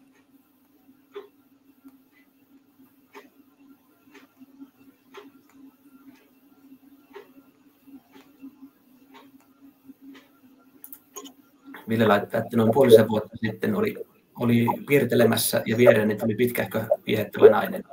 Hän kehui taidettani ja kävi sinne kahteen eri kertaan. Sanoin, että tulet piirtämään kanssani. Mm-hmm. Ja, ja tuota, henkimaailmassahan on näitä eri alan asiantuntijoita ja, ja jos haluaa käyttää esimerkiksi sillä lailla hyödykseen heitä, niin sieltä voi pyytää eri taiteilijoita piirtämään tai maalaamaan kanssa tai kirjoittamaan, jos on kirjailija tai runoilija. Mä ohjaan itse tämmöisiä kursseja, missä me sitten hyödynnetään näitä henkimaailman taiteilijoita ja sillä lailla voi kokeilla eri tyyliä myöskin. Ne ovat ihan erilaisia sitten tyyliltään, mutta se on kuitenkin aina sun taidetta. Anne muistuttaa, että laittakaa kanava tilaukseen ja lähetykselle tykkäyksiä. Ja saa toki jakaakin vielä, jos, jos tuntuu sille. Ja sitten meillä YouTuben kautta pystyy tilaamaan näitä kanava, kanavajäsenyksiä, että se on 99 senttiä kuukaudessa. Ja sitä saa sitten muun muassa tämmöiset nimet tänne lähetyksiin aina nostettu esille. Ja auttaa tietenkin meitä, meitä kanavana myöskin kasvamaan ja etenemään. Kyllä. Ja tämä on tärkeä kanava. Joo, näitä ei kumminkaan ihan liikaa ole sitten, että missä tällä vapaasti voi kaikenlaista, kaikenlaista keskustella ja ihmetellä. Kyllä, jotenkin tuntuu, että tänä päivänä se on ollut aika äh, haasteellista. Joo, Tietysti. meilläkin tämä on nyt kolmas kanava, mikä on yhteensä, ja pari kanavaa on lähtenytkin. Ja sitten tosiaan Joo. tämä totuudet 4 ja 5, että sieltä voi laittaa myös tilauksia, jos, jos tota, haluaa etukäteen varautua, että kolmoskin lähtee. Mutta toistaiseksi ollaan vielä täällä ja kanava kasvaa ja kaikki hyvin. Niin. Hyvä, hyvä. Päivikki kysyy, että mitä mieltä olet muun muassa merisuolan vaikutuksesta suojaamisesta tiloissa, asunnoissa, VRT, muun muassa Feng Shui? No Feng Shui on siinä hyvä, että, e, tai ylipäänsä se, että, että kotona ne energiat kulkevat, on se sitten työpaikka. Eli jos sulla on kauheasti tavaraa esimerkiksi lattialla, että alkaa pinot kasvamaan, niin se energia ei pääse kulkemaan. Eli silloin on niin tärkeä, tärkeä tuota, saada se koti jotenkin sellaiseen kuntoon, että se hyvä energia siellä virtaa. Sitten on, on tietenkin tuo merisuola, kyllä, eli, eli voi laittaa ää, niin huoneiston tai talon sisällä ulkonurkkiin merisuolaa, jolloin se auttaa sen energiatason niin nousemisessa, että sieltä saattaa lähteä niitä ikäviä energioita. Toki on sitten toi, toi salvian polttaminen tai palosanto, että niilläkin voi puhdistaa. Sitten on, on näitä erilaisia energioita, esimerkiksi reikissä mä teen tämmöistä tiivetiläistä, niin siinäkin on tiettyjä systeemiä, millä voi puhdistaa energioita. Et niitä on erilaisia keinoja, että mitä voi kokeilla, että toimiiko. Ja tietenkin ihan se, se että joku siunaa.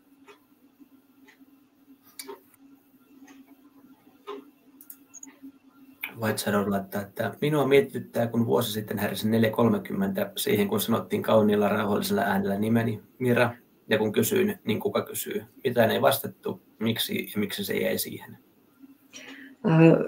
Yleensä siinä vaiheessa, kun nukahtaa tai on heräämässä, niin on herkimmillä ja silloin henkimaailmasta on niin helpointa olla yhteydessä. Ja siellä on joku, joku sun läheinen sanonut nimesi ja jostain syystä hän ei sitten ole jatkanut sitä, mutta tuota, Mä uskon kyllä, että sä saat sen yhteyden tai sulla voi olla se yhteys jo.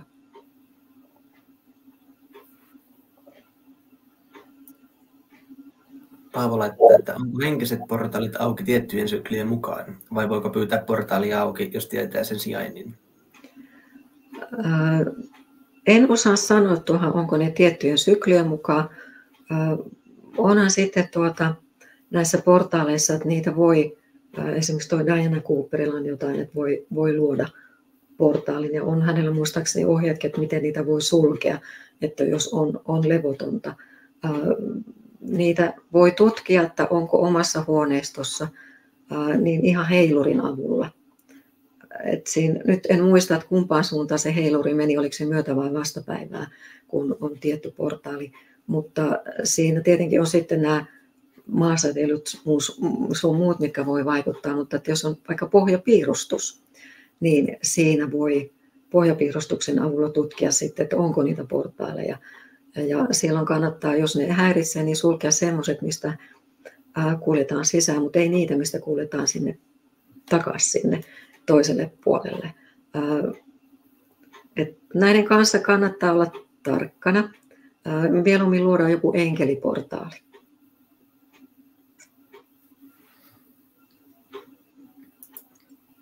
Päivikki laittaa, että ajatukset ovat myös energiaa, värähtelyä. Vetovoiman laki toimii sekä hyvässä että pahassa. Kyllä, kyllä. esimerkiksi silloin, kun mä aloittelin yrittäjäni uraa ja mä ajattelin, että mulla ei ole varaa hankkia sitä tai mulla ei ole varaa mennä kurssille, niin eihän mulla ollutkaan. Mutta sitten kun mä muutin sitä ajattelutapaa, että, että on, niin sitten ei ole ollut ongelmaa sillä lailla. Ja, äh, mutta kyllähän meitä suojellaan myös sillä lailla, että jos me ajatellaan jostakin jotain pahaa, niin ei se pahan tari välttämättä siis tapahtua, mutta me ollaan lähetetty se energia ja joskus me saadaan se sitten takaisin itseemme. Eli jos on tuttu tämmöinen äh, hetkinen, mä muistan sen, Esther Hicks, joka kanavoi tämmöistä Abraham-entiteetti ryhmää, niin hän erinomaisen hyvin osaa kertoa sen, että kuinka äkkiä se ajatuksen voima lähtee liikkeelle. Ja kun me huomataan itse se, että, että me jotenkin negatiivisesti ajatellaan niin omaan tulevaisuuteen liittyen, koska me luodaan sitä tulevaisuuttamme nyt, sanoin, ajatuksin ja teon. Ja jos me keskitytään enemmän siihen valittamiseen, pelkoon, kateuteen, vihaan, niin me vedetään sitä enemmän puoleemme. Ja kun me keskitytään enemmän siihen iloon, positiivisuuteen, niin me vedetään sitä enemmän puoleemme. Ja kiitollisuus on, on yksi keino ilmentää myöskin, että ja kiitollisuuden avulla, kun me joka päivä vaikka nukkumaan mennessä mietitään asioita, että mistä me ollaan tänään kiitollisia, niin me vedetään enemmän ja enemmän sitä hyvää puoleen. Ja kiitollisuuden avulla löytyy ilon energia takaisin, jos se on jostain syystä hukassa. Feynman laittaa, että mikä on Marianan suhde Jeesuksen pelastajana ja Jumalan poikana? Mä uskon Jumalaan, mä uskon Jeesukseen, mutta en Jumalaan sellaisena kuin se ehkä raamatussa tuodaan esiin. Uskon, että Jeesus on elänyt, mutta se, mitä hänen elämästä on jäänyt kertomatta, niin siellä on paljon sellaista. Ja, ja tuota, Jeesus on yksi näistä mestareista. Ja, ja tuota, mulla ei sillä lailla ole suhdetta uskontoihin. Ehkä buddhalaisuus voisi olla lähin, lähinnä mua. Spiritualismi on myöskin, Englannissahan on spiritualistisia kirkkoja, mutta tuota, kyllä mä uskon heihin, mutta mä en usko sitä, mitä kirkossa tuodaan, että sut viimeisenä päivänä herätetään kuolleesta. Et siihen mä en usko. Et mä uskon siihen, että kun me täältä lähdetään, niin meillä on mahdollisuus mennä sinne valoon.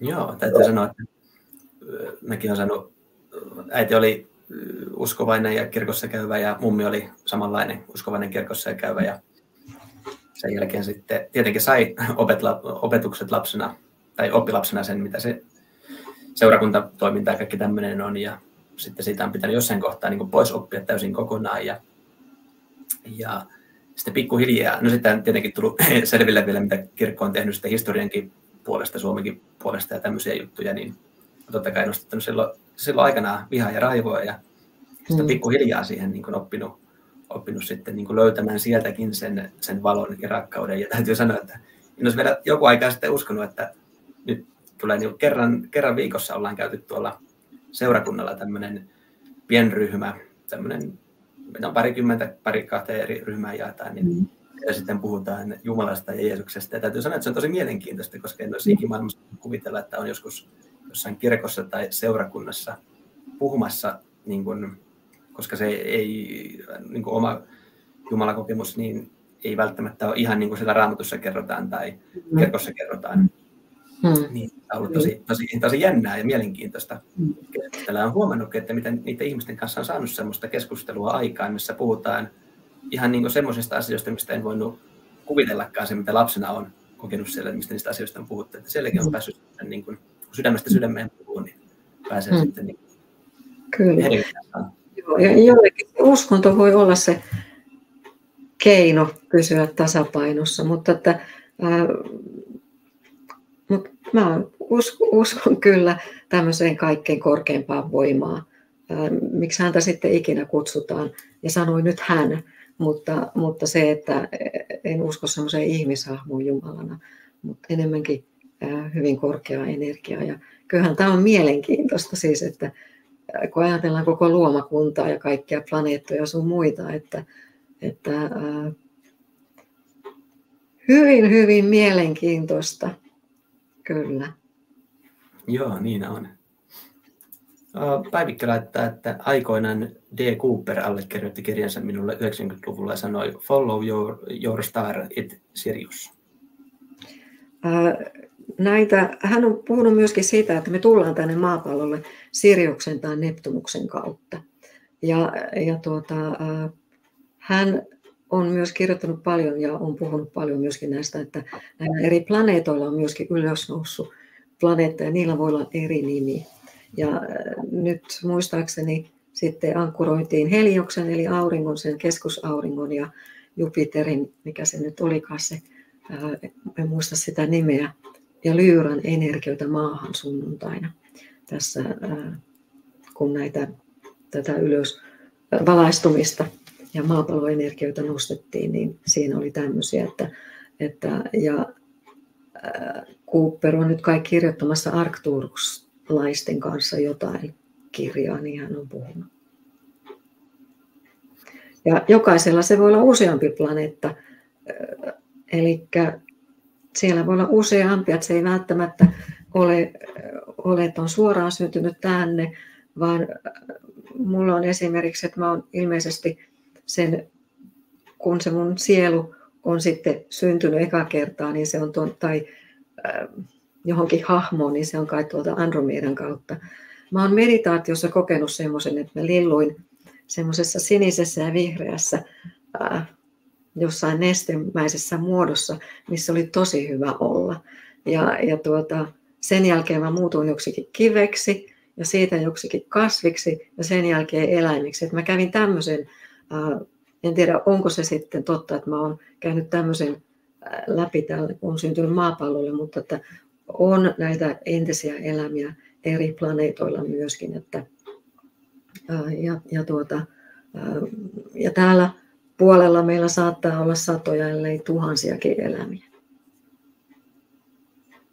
Joo, mun mielestä se, tai en ole itse en, en tiedä tai osaa sanoa siitä, että miten sielu on vaikka puuna tai ruohona tai tämmöisenä, mutta toisaalta ei se ole niin kuin lainkaan mahdotus, mahdoton ajatus. Ja on joku sanonutkin joskus, että, että jos sielu tarvitsee kokea jonkun kokemuksen, niin se voi mennä kokemaan sen sitten kasvamona puuna tai kalliona tai mikä tahansa se sitten ikinä onkaan. Niin, eläinhahmonakin, että jos sieltä tarvii todellakin jonkun tämmöisen kokemuksen, mutta mm, kyllä. Milo laittaa, että mistä tietää, mitä viestit tarkoittavat. Yleensä juurikin, kun on nukahtamaisillaan, tulee jotain viestejä. Viimeksi tuli, että Sarille mennään sitten kello 17. En tunne edes ketään sarjaa. Se, että jos oli joku enne, että siellä tuleekin joskus joku Sari tai menette jonkun kanssa Sarille.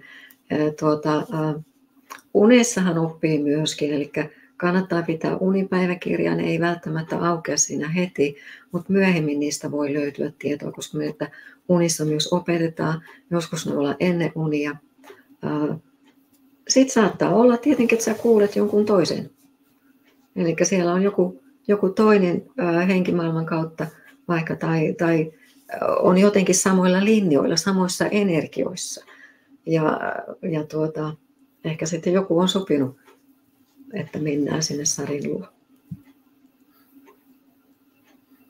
Mutta siinä on todellakin henkimaailmalla niin helpoin olla yhteydessä, koska ollaan rentoutuneessa tilassa. Päivikki laittaa, että 1800-luvun Ranskan taloon tuli rauha kun laitoin rukosnauhat seinille. Hmm, kyllä. Eli erilaisilla keinoilla voi tulla se rauha sinne. Ja aivan mahtava, kun tuommoinen vanha talo. Joo. Hieman varautunut preppari laittaa, että voisiko olla jokin räyhänhenki kyseessä, kun Touretten syndroomassa tuotetaan koprolaliaa mitähän se koprolalia sitten onkaan, en tiedä, mutta voihan siellä tietenkin mahdollisesti ollakin. Mä oon itse kokenut läheisellä tämmöisen tarrahengen, kun hän otti liikaa alkoholia, niin hänen kehonsakin muuttui ihan, että, että housun persaus alkoi roikkumaan ja, ja tuota, oli kuin vanha mies, joka käveli kuin joku sydänvaivainen ja ää, koira oli vaan, minkä hän siinä tiedosti, ketään muuta ei. Ja jälkikäteen hän ei muistanut itse yhtään mitään. Ja usein, jos on tämmöinen tarrahenki, niin voi olla, että, että, ää, että hän hyödyntää sitten ihmisen energiaa, varsinkin alkoholisteilla. että kun ei muista mitään, niin siellä on joku tämmöinen välitilaan jäänyt, joka haluaa vielä nauttia sitä toisen sielun kautta sitä nautin, tai toisen kehon kautta sitä nautintoa alkoholista. En osaa sanoa, onko se räyhähenki välttämättä, mutta tuota, mahdollistahan se on.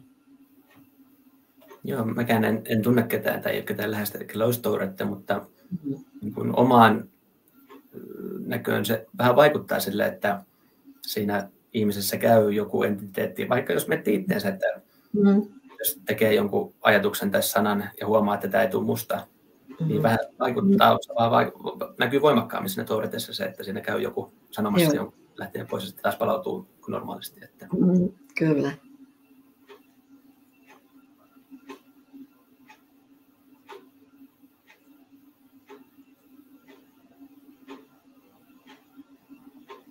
Paavo laittaa, että kiitos vastauksesta. Heilurin sanoo kyllä portaalille. Okei. Okay. Kysynpä, onko Tempakka Haukiputaan suunnalta, kun siellä oli joku opettaja, jonka sukunimi oli Tempakka. Mutta joka tapauksessa niin, ää, löytyy ohjeita, kun googlettaa, niin, niin tota, englannin kielellä ainakin näihin portaaleihin liittyen ja Diana Cooperille. Ja siellä on joku toinenkin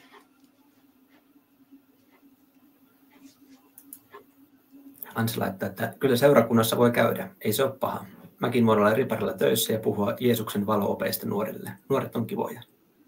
Toki voi seurakunnassa käydä. Sehän on kiva, että on, on mahdollisuus tuota, puhua tällaisista asioista. Ja, ja tuota, mutta se, että ollaan avoimia erilaisille mielipiteille.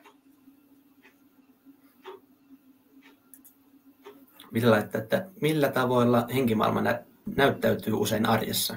Varmasti hieman eri tavoilla eri ihmisille, mutta mitä tuumailet? No ihan varmasti eri tavalla, äh, mutta esimerkiksi se voi olla niin, että jos on joku läheltä piti tilanne, sattuu esimerkiksi liikenteessä, sitten tapahtuukin jotakin. Mulla on sattunut auton kanssa kyllä, että kun on ollut talvikeli, niin tiedän, että siellä on ollut se apukuski suojelusenkeli paikalla auttamassa.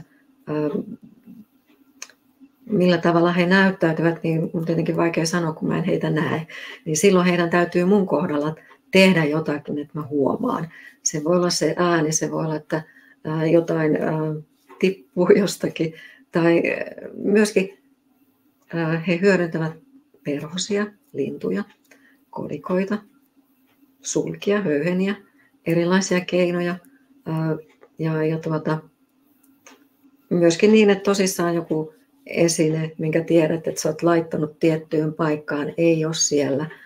Ja se voi sitten jonkun päivän päästä löytyä just sieltä. Miten henkimaailma näyttäytyy arjessa, niin se on todellakin jokaiselle eri tavalla. Mä itselleni mä koen sen, että mulla on turvallinen olla – voi olla yksinäinen, mutta ei ole koskaan yksin, koska sulla on aina se henkimaailman tuki ja turva. Ja, ja se, sen mä haluaisin myös tässä tuoda esiin, että, että jos jostain syystä on allapäin, surullinen, murheellinen, on huolia, eikä kenelle, kenelle puhua niitä, niin sinne henkimaailmaan. Jos siellä on joku henkimaailman läheinen, tai jos ei ole, niin sinne vaikka suojelusenkelille tai oppaalle voi puhua ääneen tai mielessään, koska he ovat vain sen ajatuksen päässä, niin he kuulevat. Eli se on hyvä keino purkaa sitä sydäntään, ettei ala varastoimaan sinne mitään murheita, koska se ei sitten pidemmän päälle tee hyvää keholle. Joo, toi rahajuttu oli jännä. Se kyseinen talo, mistä kuulin tämä ex-kumppani mummo asui. Mm-hmm. En muista oliko sama reissu, mutta joitain niihin aikoihin, niin uh, tällä ex-kumppanilla oli mummo antanut 20 setelin 20 euroa ja, ja sitten tota, oltiin, kun lähdettiin pois sieltä reissusta huoneesta, katsottiin, että huone on tyhjä, ettei jää mitään tavaroita ja sitten mentiin kotiin siitä ja sitten soitetaan jälkikäteen, tai huomasin, että se 20 puuttuu, että käykö mummo katsomassa, että jäikö se sinne huoneeseen. Ja sitten oli käynyt sen parin kolmeen kertaan tarkastamassa, että ei, ei ole mihinkään tippunut sinne lattialle eikä ole pöydällä eikä missään. Ja sitten kun tullaan takaisin, niin se on melkein siinä niin kuin keskellä, en ihan keskellä huonetta, mutta siinä niin kuin huoneen vieressä. Ja mummokaan ei ollut mikään niin kuin, oli hyvässä kunnossa, niin kuin, mm. ei ollut mitenkään vanhus tai dementoitunut millään tapaa, että siinä se oli Joo. sitten vaan esillä se 20. Silloin kun mä olin vielä naimisissa mieheni kanssa, niin mä olin tekemässä lumitöitä pihalla ja alkoi olla jo hämärää. Ja sitten pihavalot syttyi. Ja sitten kun mä menin sisään, niin kiittelin miestäni, että kiitos kun laitat mun ulkovalot. Eihän mitään valoja ole sulle laittanut. No, se oli mun isä, joka oli käynyt sitten napsauttaa valot päälle. Äh, olimme mene, mene, menossa tuota perheen kanssa äh, veneellä äh, hänen ja hänen veljensä mökille, mikä oli tosi tärkeä näille äh, ex-mieheni ja hänen veljen niin kuin, äh, vanhemmille. Ja tuota, äh, siinä vaiheessa, kun mies rupesi puhumaan, että tuon saaren takaa on sitten se mökki, se heidän paikka, niin siinä samassa syttyi veneessä semmoinen lamppu palamaan, joka ei ole koskaan toiminut. Totesin vain miehelle, että Anoppi on paikalla. Et, et ne voi olla tämmöisiä asioita, ne voi olla ihan semmoisia, että me ei edes huomata. Ja se voi olla ne tuoksut, äh, hajut, millä me myöskin sitten voidaan ehkä todeta, että joku täällä on käymässä, mutta, mutta he tulevat rakkaudella ja ilolla ja haluavat auttaa meitä myöskin niin omassa elämässä eteenpäin. Et joskus se, kun he siirtyvät sinne valoon tai, tai sitten jos omassa elämässä tai jollekin läheiselle tapahtuu jotakin, että sairastuu vaikka vakavasti, niin silloin alkaa nämä henkimaailman asiat usein kiinnostaa. Päivikki laittaa, että viime, yönä, viime yön unissa olin Kostian virran taistelussa lokakuu 1713. En tiennyt siitä historiasta mitään. Teinkö niin sanotun kvanttihypyn sinne Pälkäneelle, missä käytiin Pohjansodan suuri taistelu? No se voi olla kvanttihyppy, mutta se voi olla myöskin, että, että näit entistä elämääsi, koska unessa voi niitä myöskin tulla että tiedostaa, tiedostaa niitä entisiä elämiä unessa. Entisiin elämiin liittyen myöskin se, että jos sulla on ollut lapsena joku intohimo johonkin, no mun pojalla on ollut intohimona autot, niin mä tiedän, että hän on, on sitten ollut semmoisessa elämässä, missä hän on varmaan ollut kehittämässä autoja aikaisemmin. Mutta kaikki mieltymykset, tämmöiset, jos sä tykkäät jostain tietystä kielestä tai tykkäät matkustaa johonkin tiettyyn maahan, niin siellä sulla on todennäköisesti ollut oikein ihana elämä. Ja sitten taas semmoinen, että jos sä et missään nimessä halua jonnekin matkustaa, mulla se on Venäjä, niin mulla on siellä ollut joku ikävä elämä. Tai, tai että siellä on tapahtunut ikäviä asioita. Uskoisin, että se oli sun entinen elämä. Ja nämä fobiat tietenkin, pelot. Mulla on korkean paikan kammo ja olen nähnyt entisen elämän meditaatiossa, että mut on työnnetty korkealta alas ja se liittyy siihen. Voi olla, että jos ei oikein pysty pitämään niin korkeita kauluksia tai koruja tai huiveja kaulassa, niin että pitää olla avoin tästä, niin on joko mestattu tai hirtetty. Ja sitten syntymämerkkejä, jos on, niin ne saattaa olla jopa useamman elämän ajan ne syntymämerkit mukana. Että siihen kohti kehoa on sattunut jotakin jossain elämässä.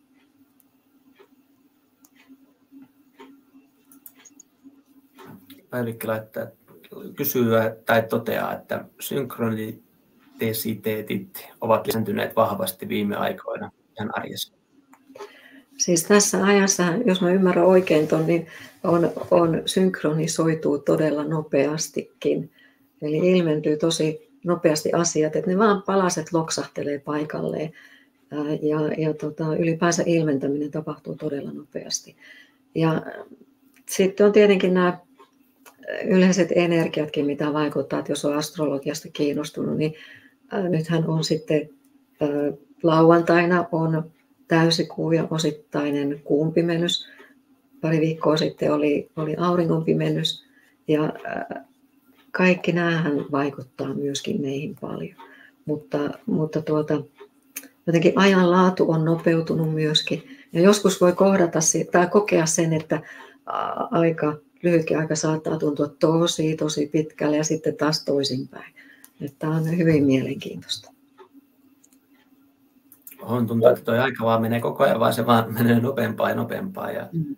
Oliko eilen, niin ihan, meillä vuokraisintä käy aina välillä täällä katselemassa, että se ei ole mitenkään tavanomaista, mutta se, mm-hmm. ei se joka päivä käy täällä näin, niin, niin, tota, uh, niin istahdin eilen, eilen tota, tai meditaation jälkeen ja sitten oli meditaation jälkeen sitten ihan varma, että se kävi tänään, tänään mm-hmm. täällä. Joo. Meillä sitten, että voiko se olla mukaan eilen, että miten tämä niin kuin, menee niin kuin, näin äkkiä nämä kaikki päivät tässä näin. Että mm, aika ne menee. Ja... Joo, ne menee tosi äkkiä. Mä oon, tota, äh, olin joitakin vuosia sitten hengen tiedonmessulla tekemässä tätä tiibetiläistä energiahoitoa ja äh, oli niin tietty aika, mitä, mitä tehtiin, että 20 minuuttia per asiakas. Ja äh, niin keho, meillä oli vielä, että me käydään se kehon tietyt osat läpi siinä ajassa. Ja jossain vaiheessa kun katso kelloa, että se on jo noin paljon ja mä olin vielä täällä ja mulla oli vielä paljon käymättä läpi asiakkaalle ja silti ehti siinä ajassa käydä kaikki läpi.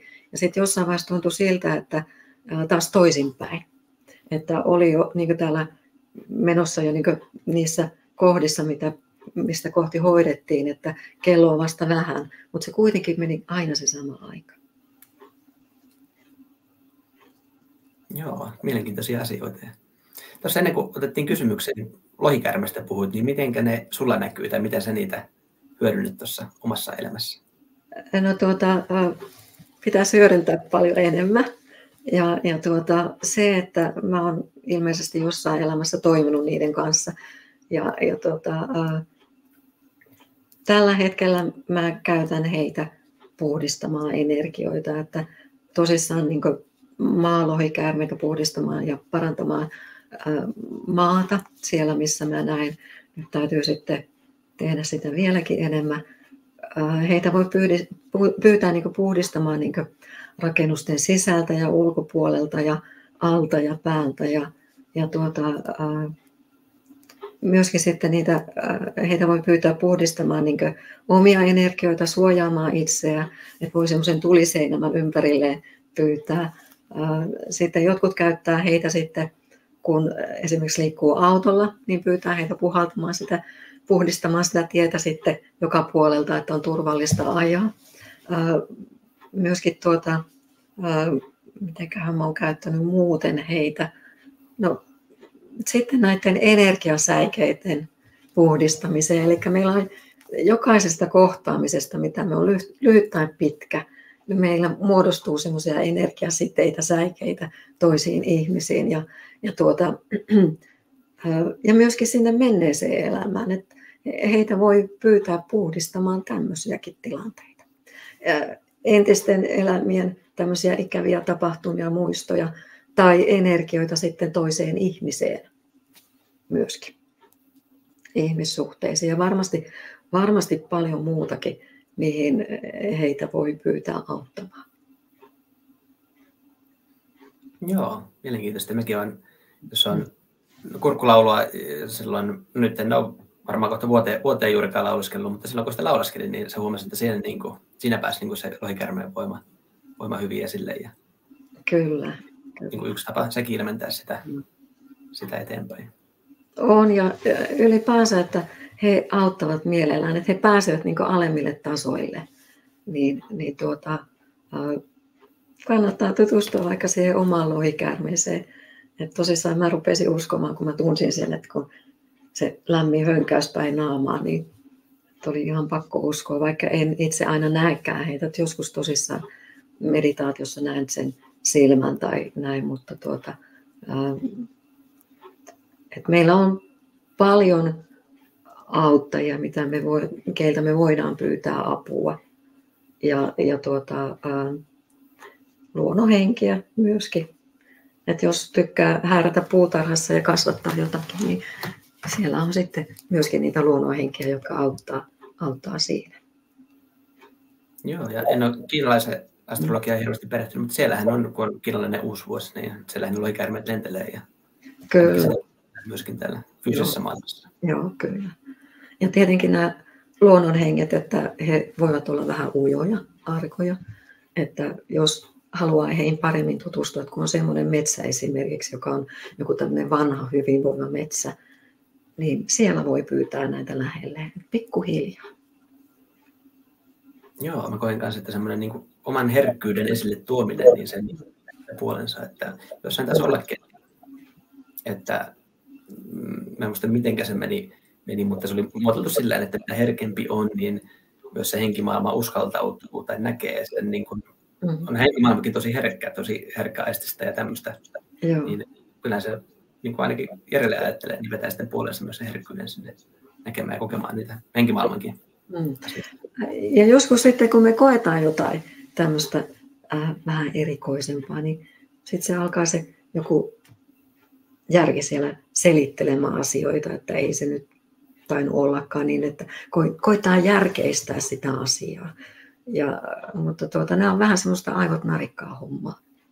Mm, Et, niin on joo, että ei se mieli vaan pysty, pysty sitten selittämään, kun kokee jonkun ihan selvä asian, niin ei me monta sekuntia, kun se alkaa vähän niin kuin, että eihän se, että se oli vaan jotain tuommoista tai että mm. eihän se, että se vaan niin kuin alkaa muotoilemaan sitä niin kuin pois siitä niin kuin aidosta kokemuksesta, että pitää saada järkevä selitys mm. sille.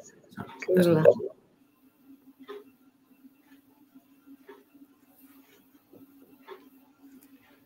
Onko vielä kysymyksiä vai ohjaanko vielä, jaksaako ihmiset, jos ohjataan meditaatiota vielä loppuun? Varmasti jaksaa. Tästä yksi kyssäri on tullut vielä, niin otetaan se.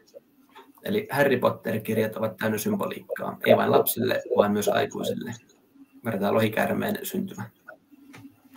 Ihan varmasti on täynnä symboliikkaa ja, ja tuota, mä itse luin pojalle näitä kirjoja silloin, kun hän oli pienempi ja katsottiin sitten ne leffatkin vielä, niin aivan mahtavia juttuja, kyllä.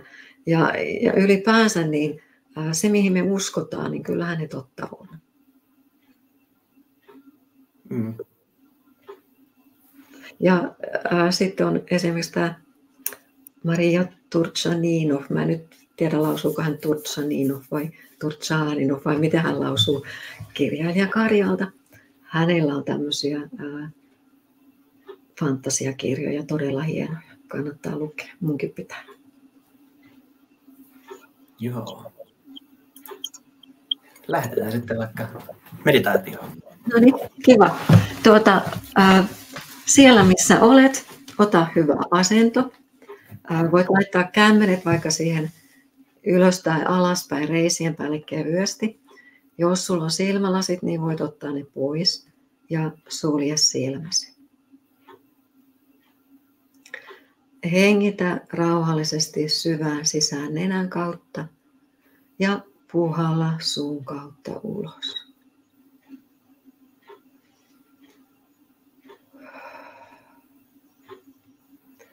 Ihan rauhassa omaan tahtiin muutaman kerran. Ja anna samalla kehosi rentoutua. Anna hartioiden pudota alaspäin. Ja tiedostaa äänet, mitä täältä kuuluu. Täältä saattaa kuulua kellonkin tikitys. Ja tiedostaa äänet, mitä kuuluvat sieltä, missä sinä olet ja anna kaikkien äänien viedä sinut yhä syvemmälle rentoutuneeseen tilaan.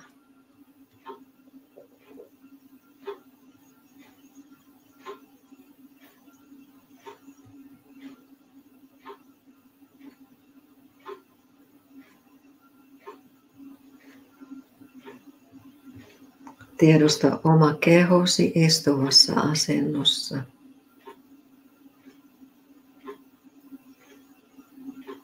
ja tiedostaa sydämesi kohdalla kaunis kukka, jonka muodon ja värin voit nähdä mielessäsi. Anna sen kukan avautua terälehti kerrallaan.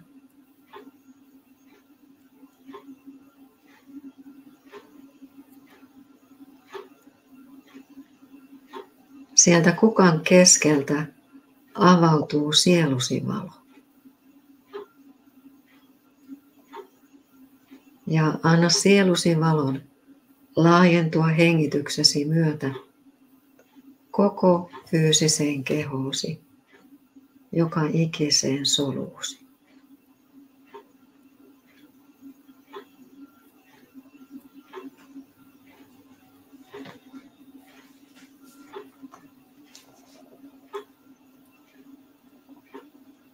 Ja samalla kun sielusivalo laajenee, niin se kirkastuu ja vahvistuu. Anna sen sielusi valon laajentua koko energiakenttääsi, kaikkiin energiakehoihisi.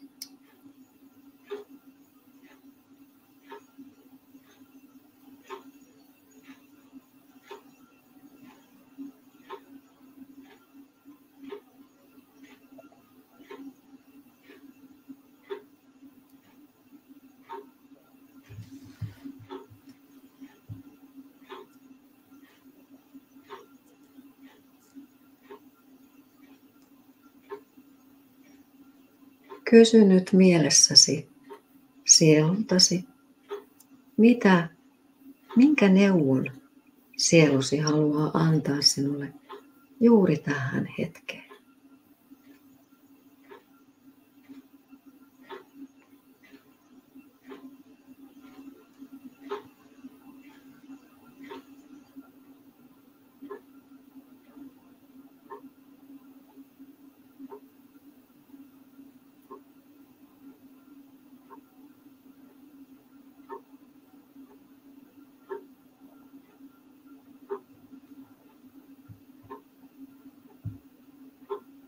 Sinä olet se sielu. Se kaunis, ihana, viisas energia. Sielusi rakastaa sinua sellaisena kuin olet.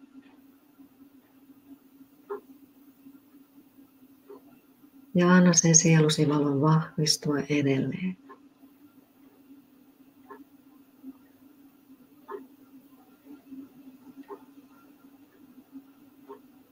Kun olemme niistä lohikäärmeistä puhuneet tässäkin, niin pyydä se oma lohikäärmesi paikalle. Pyydä hänet siihen eteesi. Pyydä hänet vieläkin lähemmäksi. Vieläkin lähemmäksi. Ja voit mielessäsi koskettaa hänen ihoaan miltä se iho tuntuu, miltä se näyttää.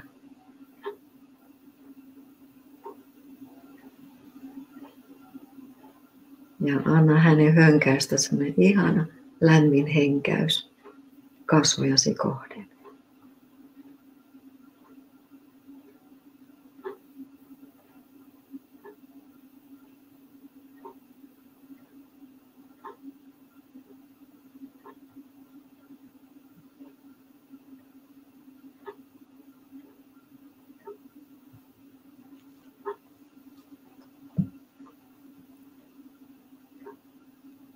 Ja kysy nyt mielessäsi lohikäärmeltäsi vaikka hänen nimeänsä ja sitä, millä lailla hän haluaisi auttaa sinua.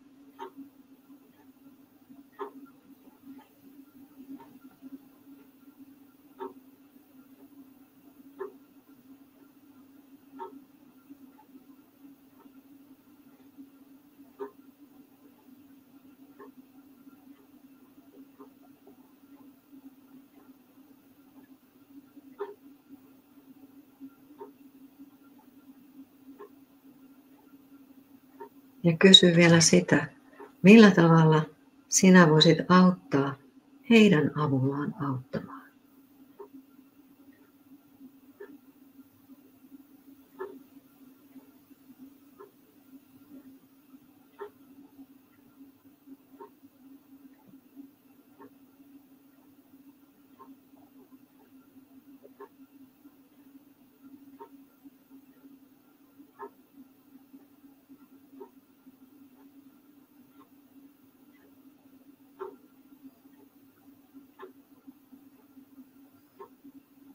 Kiitä häntä.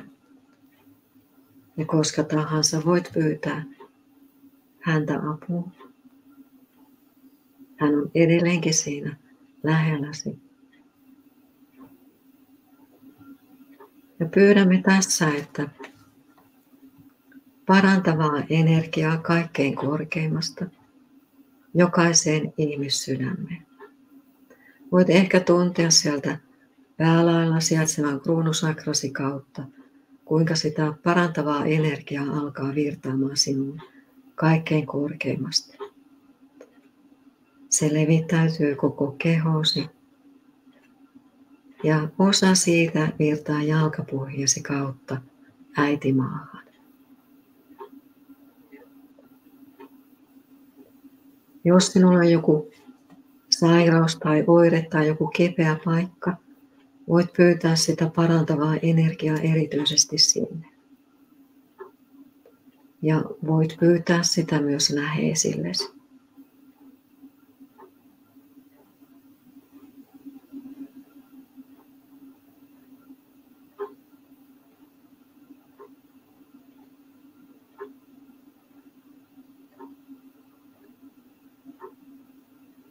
Ja samalla kun se parantava energia virtaa sinun edelleen, niin pyydämme rauhaa ja rakkautta, iloa ja valoa jokaiseen ihmissydämeen ja varsinkin niille, jotka päättävät asioita meidän puolestamme. Että he tekisivät viisaita päätöksiä niin luonnon kuin meidän ihmisten ja eläinten hyväksi. Ja jokainen voi vaikka nyt mielessään nähdä, kuinka se maapallo, joka on myöskin totuuden etsijöiden tunnarissa, niin nähdä, kuinka se maapallo alkaa luistamaan kaunista kullanvalkoista valoa. Nostamme yhdessä nyt maapallon energioita.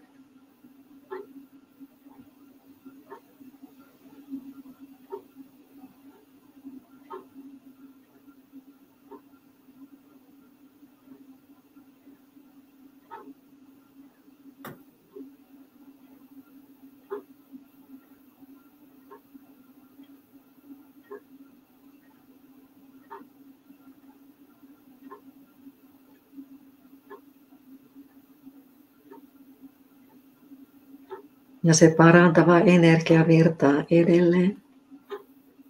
Kiitämme sieluamme. Kiitämme niitä meidän ihania auttajamme, oppaitamme, enkeleitämme ja erityisesti nyt näitä meidän lohikäärmeitämme. Mä kiitän Markusta ja teidän tiimiä ja kiitän kaikkia katselijoita, kuuntelijoita ja Pikkuhiljaa voit alkaa tiedostaa jälleen kehosi, liikutella sormia ja varpaita, veelytellä ja avata silmät tähän hetkeen. Ja tervetuloa takaisin. Tämä oli tämmöinen pikainen meditaatio, mutta Markus, näitkö sen omasi, oman lohikään? Joo, siinähän se loimuili edessä. Että... No niin, ihanaa, kiitos. Kiva kuulla. Joo, kiitoksia. Joo, kiitos. Joo. Mm. Kiitos sulle Marianne, kun olit meillä vieraana. Ja... Kiitos ja mä haluan erityiskiitoksen Miralle, että vinkkasit ja kiitos koko teidän tiimille. Tämä on ollut todella kiva päästä tällä lailla ja ö, sä osasit esittää sellaisia kysymyksiä, että päästiin hyvin tässä eteenpäin. No niin, mentiin virran mukana tässä. Kyllä, ja vähän pidemmästi kuin ajattelin. Joo, se on melkein kaksi tuntia kohta mittarissa. Niin kaksi tuntia, kyllä. Mut kiitos kaikille. Oikein ihanaa syksyä kaikille ja hyvää talvea, missä se jo alkaa tulla. Yksi neuvo vielä.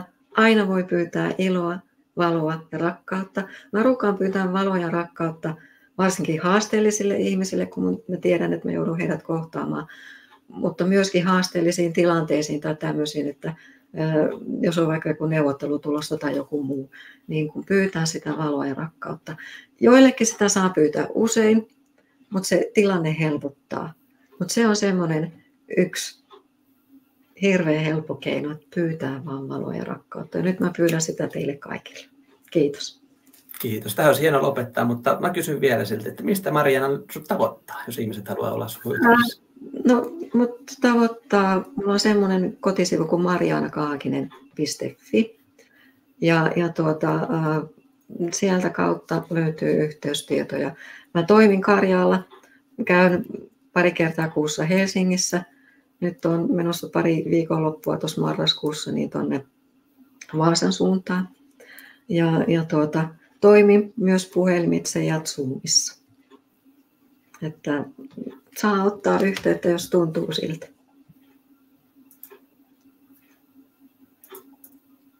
Kiitos. Kiitos sulle Mariana. Olet vieraana ja oli mukava rupatella ja oli mukava saada vielä tämä meditaatio tähän loppuun. Niin tästä on hyvä lähteä iltaa jatkamaan. Joo. Joo. Kiitos kovasti. Kiitos Mariana ja kiitos kaikki katsojat ja kuulijat. Ja muistakaa tosiaan meidän kanava ja laittaa tilaukseen ja saa jakaakin tätä videoa, jos sille tuntuu. Niin ei muuta kuin palaillaan taas sitten ensi viikolla asiaan. Kiitos kaikille. Kiitos, hei hei. Moi moi. Thank you.